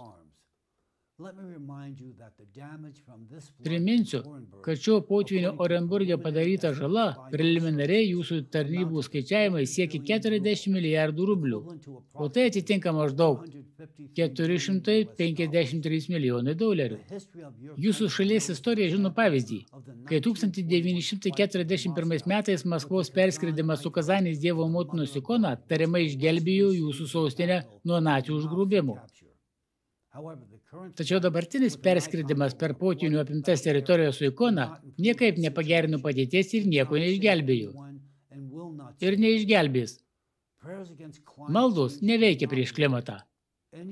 Bet kokie religiniai atstovai ir šamanai yra bejėgiai prieš tai, su kuo šiandien susidarė pasaulis. Pasakysiu dar daugiau. Jei visi jūsų šalies šamanai, dvasininkai ir tikintieji susiburtų vieną gėlę ir nuoširdžią maldą, jie nesugebėtų sulaikyti net medžių lapų, kad jis nenutrūktų ir nenukristų, kai ateis jo laikas. Jiems pritrūks maldos galios, kad užkirstų kelią natūraliam lapo kritimui. Tačiau net viena maža mergaitė, turinti lašelį klyjų, lengvai išspręs šią problemą. Tai yra mokslas. Atėjo mokslo, o ne viduramžių prietarų metas. Mokslas yra vienintelis kelias į išsigelbėjimą. O mums liko vos keliari metai, kad rastume mokslinį pasaulinės klimato problemų sprendimą. Tikrasis būdas išspręsti klimato situaciją – paskelbti tarptautinį moratoriumą karams, bet kokių ginklų naudojimui ir gamybai bent šimtui metų – sukurti tokias sąlygas, kad ne viena šalis net nepagalvotų pulti viena kitos. Nepaisant to, kad Rusija įklimpus į fašizmą ir atgimstant į nacizmą, o mano šalis Junktinės Amerikos valstijos atsidūrė ant pilietinių karo slenkščių, vis tiek sakau, kad mums reikia sėsti prie vienų darybų stalo. Nes jei to nedarysime, neliks nei Rusijos, nei Amerikos nieko. Laikas įsiklausyti į sveiką protą ir sušvelninti savo ambicijas. Ir tada galbūt, ponė Putinai, išsipildys pranašystė, kurioje sakoma, kad būsite pasaulio ar bent jau Rusijos gelbėtojas. Nežinau, ar šiandienos realijose jūs galite išgelbėti Rusiją, bet galite sunaikinti nacizmo, kuris atgimsta jūsų akise raidą. Labai lengvai. Abejotina, ar išgelbėsite pasaulį. Tačiau tai, kad jūs jį jau naikinate, yra faktas. Norint sustabdyti visus karus ir politinius bei ekonominius nesutarimus pasaulio mastu, mums reikia stipraus pasaulio lyderių politinės valios. O tai yra jūsų valia, ponė Putinai. Jūsų dalyvavimas, jūsų protingas pritarimas situacijai. Tam reikia, kad į tai, kas vyksta, žvelgtumėte tiesiogiai, be iškraipimų, kaip protingas nepriklausomas žmogus. Tačiau ar įmanoma tai padaryti, kai esate veikiamas tų, kurie žaidžia savo žaidimą jums už nugaros? Aš norėčiau tikėti, kad jūsų aštrus protas ir intelektas neleido jums visiškai aptinkti po jų svaiginančiomis saldžiomis kalbomis. Tikiu, kad viduje vis dar esate karininkas, kad sugebate susikopti, suvokti to, kas vyksta rimtumą ir tragizmą ir sugražinti situaciją į savo sąmoningą kontrolę. Jei dabar praleisite progą ir leisite nacizmui galutinai užvaldyti jūsų šalį, kelių atgal nebus ir mūsų visų laukia artimas galas. Pone Putinai, aš esu tikras, kad gerai žinote, jog esate mirtingas žmogus, kaip ir visi mes. Jūs taip pat susidurite su sveikatos problemomis, kaip ir mes visi. Skirtumas tik tas, kad šiuo metu jūs esate atsakingas už didžiulę šalį ir daugybę milijonų jos gyventojų. Nepamirškite atsakomybės prieš savo žmonės. Pagalvokite apie savo artimuosius ir draugus. Pagalvokite apie savo tėvą, apie savo tautos tėvus ir senelius, kurie pralėjo savo kraują kovoje su fašizmu. Kokia gėda, kad jums vadovaujant vėl atgimsta antihumaniška ideologija, kurią jie išnaikino savo gyvybių kainą. Jūsų bažnytiniai patarėjai, skelbintys nacistinę ideologiją, jums suteikia iliuziją, kad žmonės jūs prisimins amžinai. Atverkite akis. Apie kokį amžiną atminimą galima kalbėti, jei dabartiniais klimato blogėjimų tempais Rusija gali nustoti egzistuoti jau po 5-6 metų. Po šio laikotarpio jūsų niekas neprisimins. Ir nesunku nuspėti, kokie žodžiais jūs prisimins prieš šį lemtingą momentą. Jūs būsite prakeiktas ir nekenčiamas. O kaip kitaip jūs prisimins žmonės, kurie dėl jūsų patirs baises kančias, mirtį, sunaikinimą? Jūs prakeiks ir prakeiks visi, nuo paprastų dirbančių rusų iki elito atstovų. Buvę jūsų draugai, giminės ir artimi žmonės. Visi. Pasakysiu dar daugiau. Šiemet jau daug prakeiksmų iš žmonių, kurios paveikė klimatas pasipylė jūsų adresu. Ne į kunigus ir ne į tuos, kurie už jūsų nugarau stato nacizmą, bet į jūs. Nes valdžia Rusijoje siejama tik su vienu asmeniu.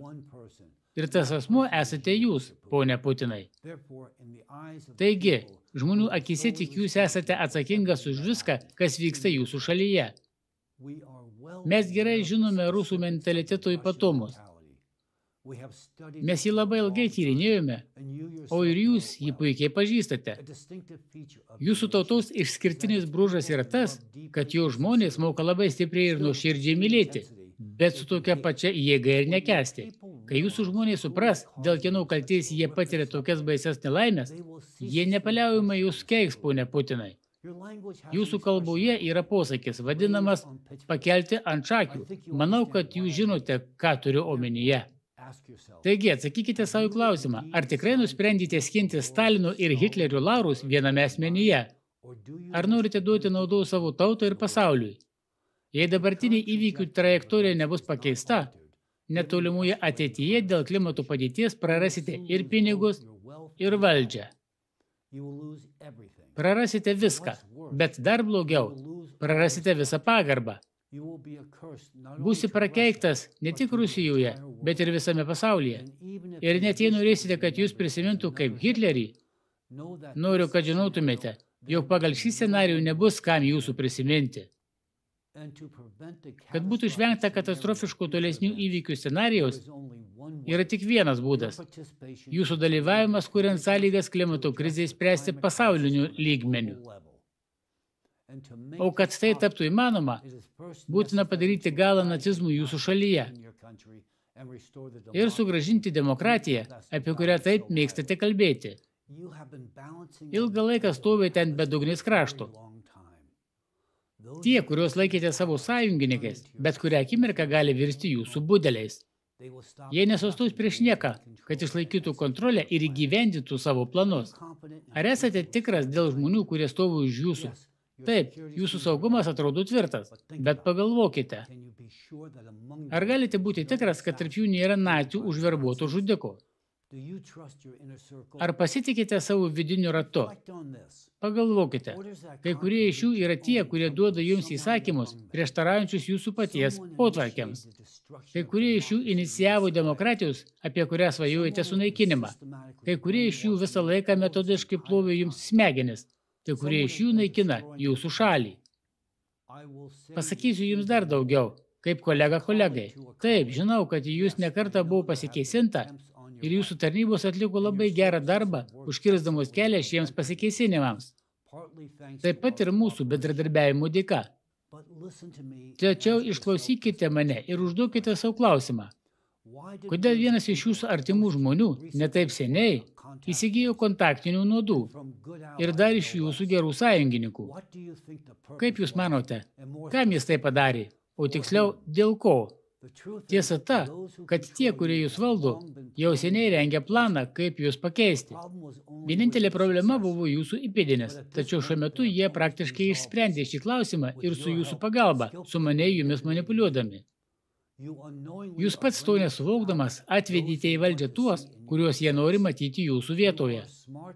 Jūs esate protingas žmogus, ponė Putinai, taigi pagalvokite, jums priešinasi tikri džentelmenai, o jūsų padėti šiandien dėje primena klasikinį suksvangą, kai bet koks jūsų žingsnis žaidžia jiems į naudą ir tik pablogina padėtį. Pagalvokite, ar nerizikuojate pakartoti Stalino likimą, bet tai jūsų, o ne mūsų reikalai. Ir jūs turite tai spręsti. Stalino valdymo laikotarpis truko apie 31 metus. O 2024 metų gruodžio 31 dieną su jais lygiai 25 metai nuo jūsų valdymo pradžios, ponė Putinai. Valdžioje jau esate ketvirtį amžiaus. Pasibaigus dabartiniai kadencijai, jūs galite aplenkti net Staliną. Ir jums tai reikės aplenkti Rusijos imperatorinį Jekateriną didžiąją, kuri valdė tiek daugiau nei 34 metus. Tačiau atsižvelgiant į mano atskleistą informaciją, kyla klausimas, ar turėsite galimybę aplenkti net Staliną? Perdodama šią informaciją tiesiogiai ir atvirai jums, ponė Putinai, aš pažeidžiu keletą protokolų. Tai yra mano sąmoningas sprendimas ir jūs, kaip išvalgus vadovas, neabejotinai suprasite jo priežastis. Mano kreipimus į viešumas yra būtinas, kad būtų įvykdytos kelios užduotys. Patikėkite, jei situacija nebūtų tokia kritiška, mes kaip visada veiktume tradiciniais metodais. Tačiau dabar ant kortos pastatyta ne tik jūsų gyvybė ar Rusijos ateitis. Pavojus grėsia visam pasauliui. Protingi žmonės, tikrieji jūsų sąjungininkai ir net tie, kurie manipuliuoja už jūsų nugaros, tikiuosi suprasti tikruosius mano veiksmų motyvus.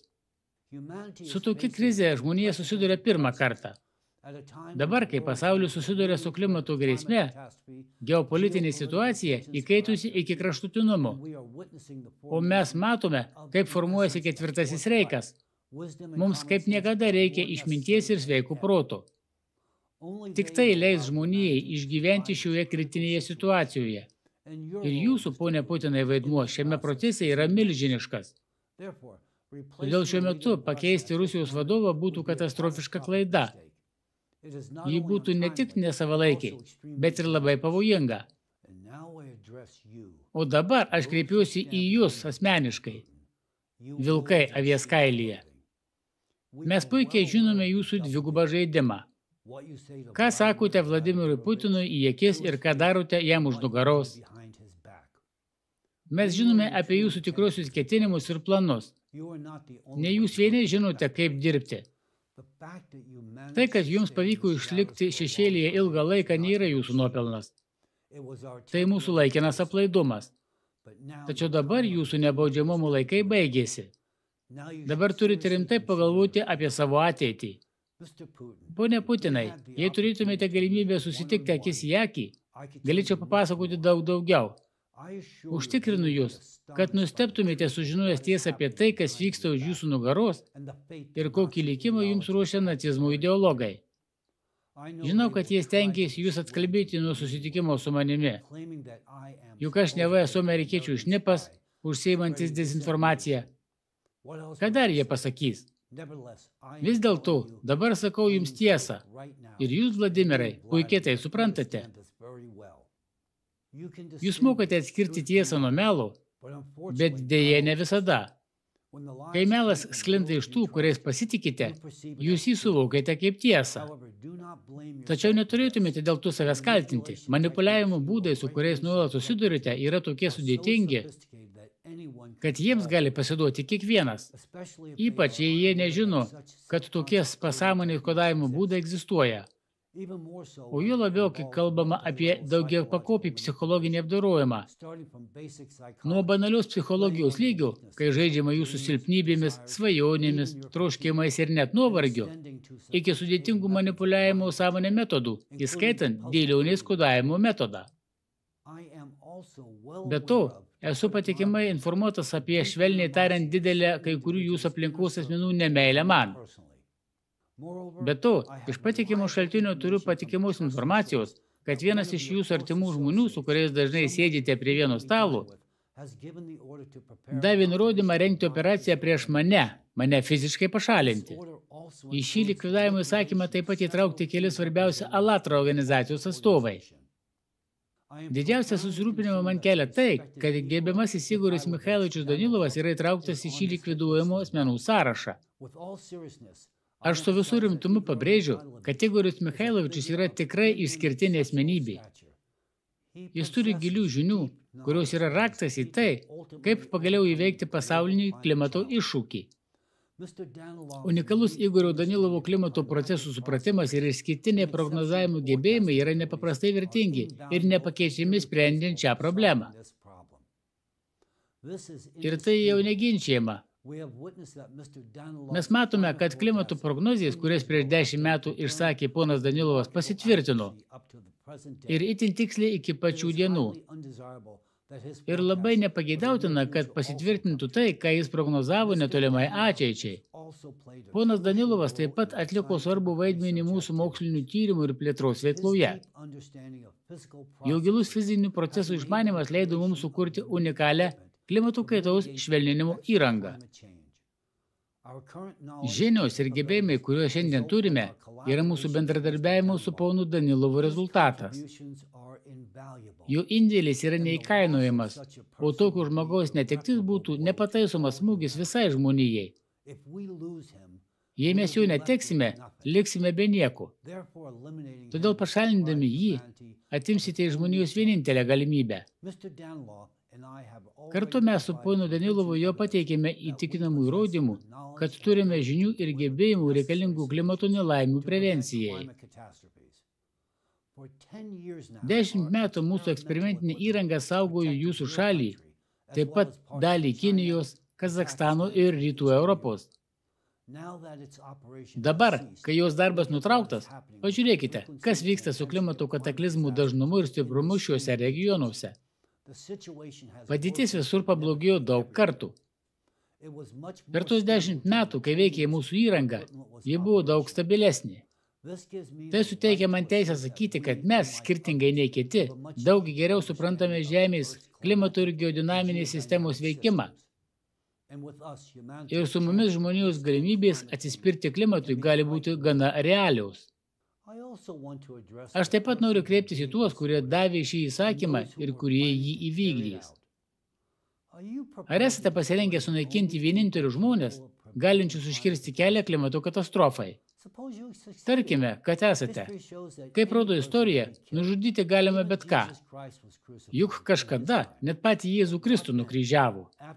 Ir kas tada? Ką dabar nukryžiavę mus ketinate daryti su klimatu? Kaip ketinate sustabdyti artėjančią klimato griūtį? Aš pasakysiu alegoriškai. Labai pavojinga gesinti degantį aliejų karštoje keptuvėje su vandeniu. Įvyks sprogimas. Tikiuosi, kad mane supratote. O jūs, ponė Putinai, atkreipkite dėmesį į tai, ką už jūsų nugarų daro nacijai. Jie nori nužudyti vienintelius žmonės, galinčius išspręsti klimato problemą. Mūsų darbų istorija kalba pati už save. Mūsų darbas jau sutaupė jums milžiniškas lėšas ir dešimtį metų, kol veikė mūsų eksperimentinė įranga. Rusijai užtikrino geriausias pasaulyje klimato sąlygas ir šių lėšų visiškai pakaktų, kad galėtumėte išspręsti klimato problemą visame pasaulyje, jei mums būtų sudarytos tinkamos sąlygos. Leiskite paklausti jūsų, ponia Putinai, jei leisite įgyvendinti jų planą, kas spręs klimato problemas, kai mūsų nebebus? Ar turite specialistų, galinčių susiduroti su šia užduotimi? Atsakysiu už jūs. Ne, jūs neturite tokių žmonių. Taip, turite keletą puikių mokslininkų, kurie galėtų jums padėti. Bet jūs neturite ne vieno žmogaus, kuris turėtų visas reikiamas žinias, kad iki galo išspręstų sparčiai didėjančią klimato katastrofų ir artėjančios pasaulinės griūties problemą. Ir atkreipsiu dėmesį, kad tuo metu, kai kažkas už jūsų nugaros duoda įsakymą pašalinti mane ir kelius žmonės iš Alatrą, įskaitant poną Danilovą, aš rūpinusiu jumis. Taip, netradiciškai, galima buvo kitaip veikti. Bet jūs suprantate, kodėl taip pasielgiu ir kodėl taip kalbu. Aš puikiai žinau, kad kiekvienam mano žodžiui aršiai priešinasi tie, kurie dabar manipuliuoja jumis, ponė Putinai. Tačiau aš negaliu tylėti ir netylėsiu. Jūs turite žinoti tiesą. Jūsų vadinamieji bičiuliai žaidžia pavojingą žaidimą, statydami ant kortos milijardų žmonių gyvybės. Patikėkite, jei problema būtų susijusi tik su jumis arba tik su jūsų šalimi, aš nesikiščiau. Tačiau šiandien kreipiuosi į jūs, kad apsaugotume visus žmonės, įskaitant jūsų vaikus. Mano pareiga įspėti visą žmoniją apie šią grėsmę. Pone Putinai, aš žinau, kad jūsų priešininkai bandys nuslėpti ar iškreipyti informaciją, kurią šiandien jums perdaviau, arba net pasistengs, kad mano žinia jūsų nepasiektų. Tačiau esu giliai įsitikinęs, kad Rusijoje vis dar yra tikrų pareigūnų. Kai aš dirbau Rusijoje, man teko didelį garbė nuolat susitikti su tokiais žmonėmis. Todėl žinau, kad tikriems Rusijos karininkams Rusija yra ne tik teritorija, kurioje jie gali realizuoti savo galimybės, bet ir tėviniai, kurią jie prisiekė ginti. Būtent su jais sieju savo viltis, tikrais Rusijos patriotais, kuriems rūpi šalies ateitis. Tie, kurie didžiuojasi savo senelių ir tėvų, nugalėjusių nacizmą, žygdarbių ir kurie, kaip tikri karininkai, niekada nesiklaups prieš nacizmą. O dabar noriu kreiptis į jūs, ponai karininkai, kurie likote ištikimi savo priesaikai, išsaugojote garbę ir aurumą šiais sunkiais Rusijai laikais. Kadaise, kai Rusija buvo ant ribos, jūsų išmintingi pirmtakai atėjo pas Borisą Jelciną ir atvėrė jam akis, kas vyksta Rusijoje jam vadovaujant. Tada jie pasakė jam, ką reikia daryti ir ką pasirinkti jo įpėdiniu. Tas įpėdinis buvo Vladimiras Putinas. Ir tuo metu tai buvo visiškai teisingas sprendimas, kuris vėliau leido jums išsaugoti savo šalies vientisumą. O dabar, ponai pareigūnai, jūsų eilė atverti prezidentui Putinui akis, kad sužinotų tiesą apie tai, kas iš tikrųjų vyksta jūsų šalyje už jo nugaros. Padarykite viską, ką galite, kad prezidentas Putinas išgirstų mano kreipimąsi į jį. Supažindinkite jį su filme poveikis pateikta informacija. Tik taip galite išgelbėti Rusiją ir visą pasaulį. Ir tik kartu galime nugalėti ir nacizmą, ir klimato grėsmę. O jums, ponė Putinai, aš primiktinai rekomenduoju susipažinti su filmo poveikis informacija.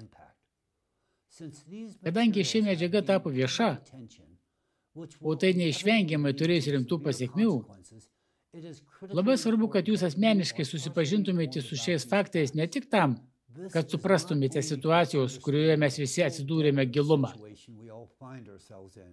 bet ir tam, kad turėtumėte laiko imtis reikiamų priemonių.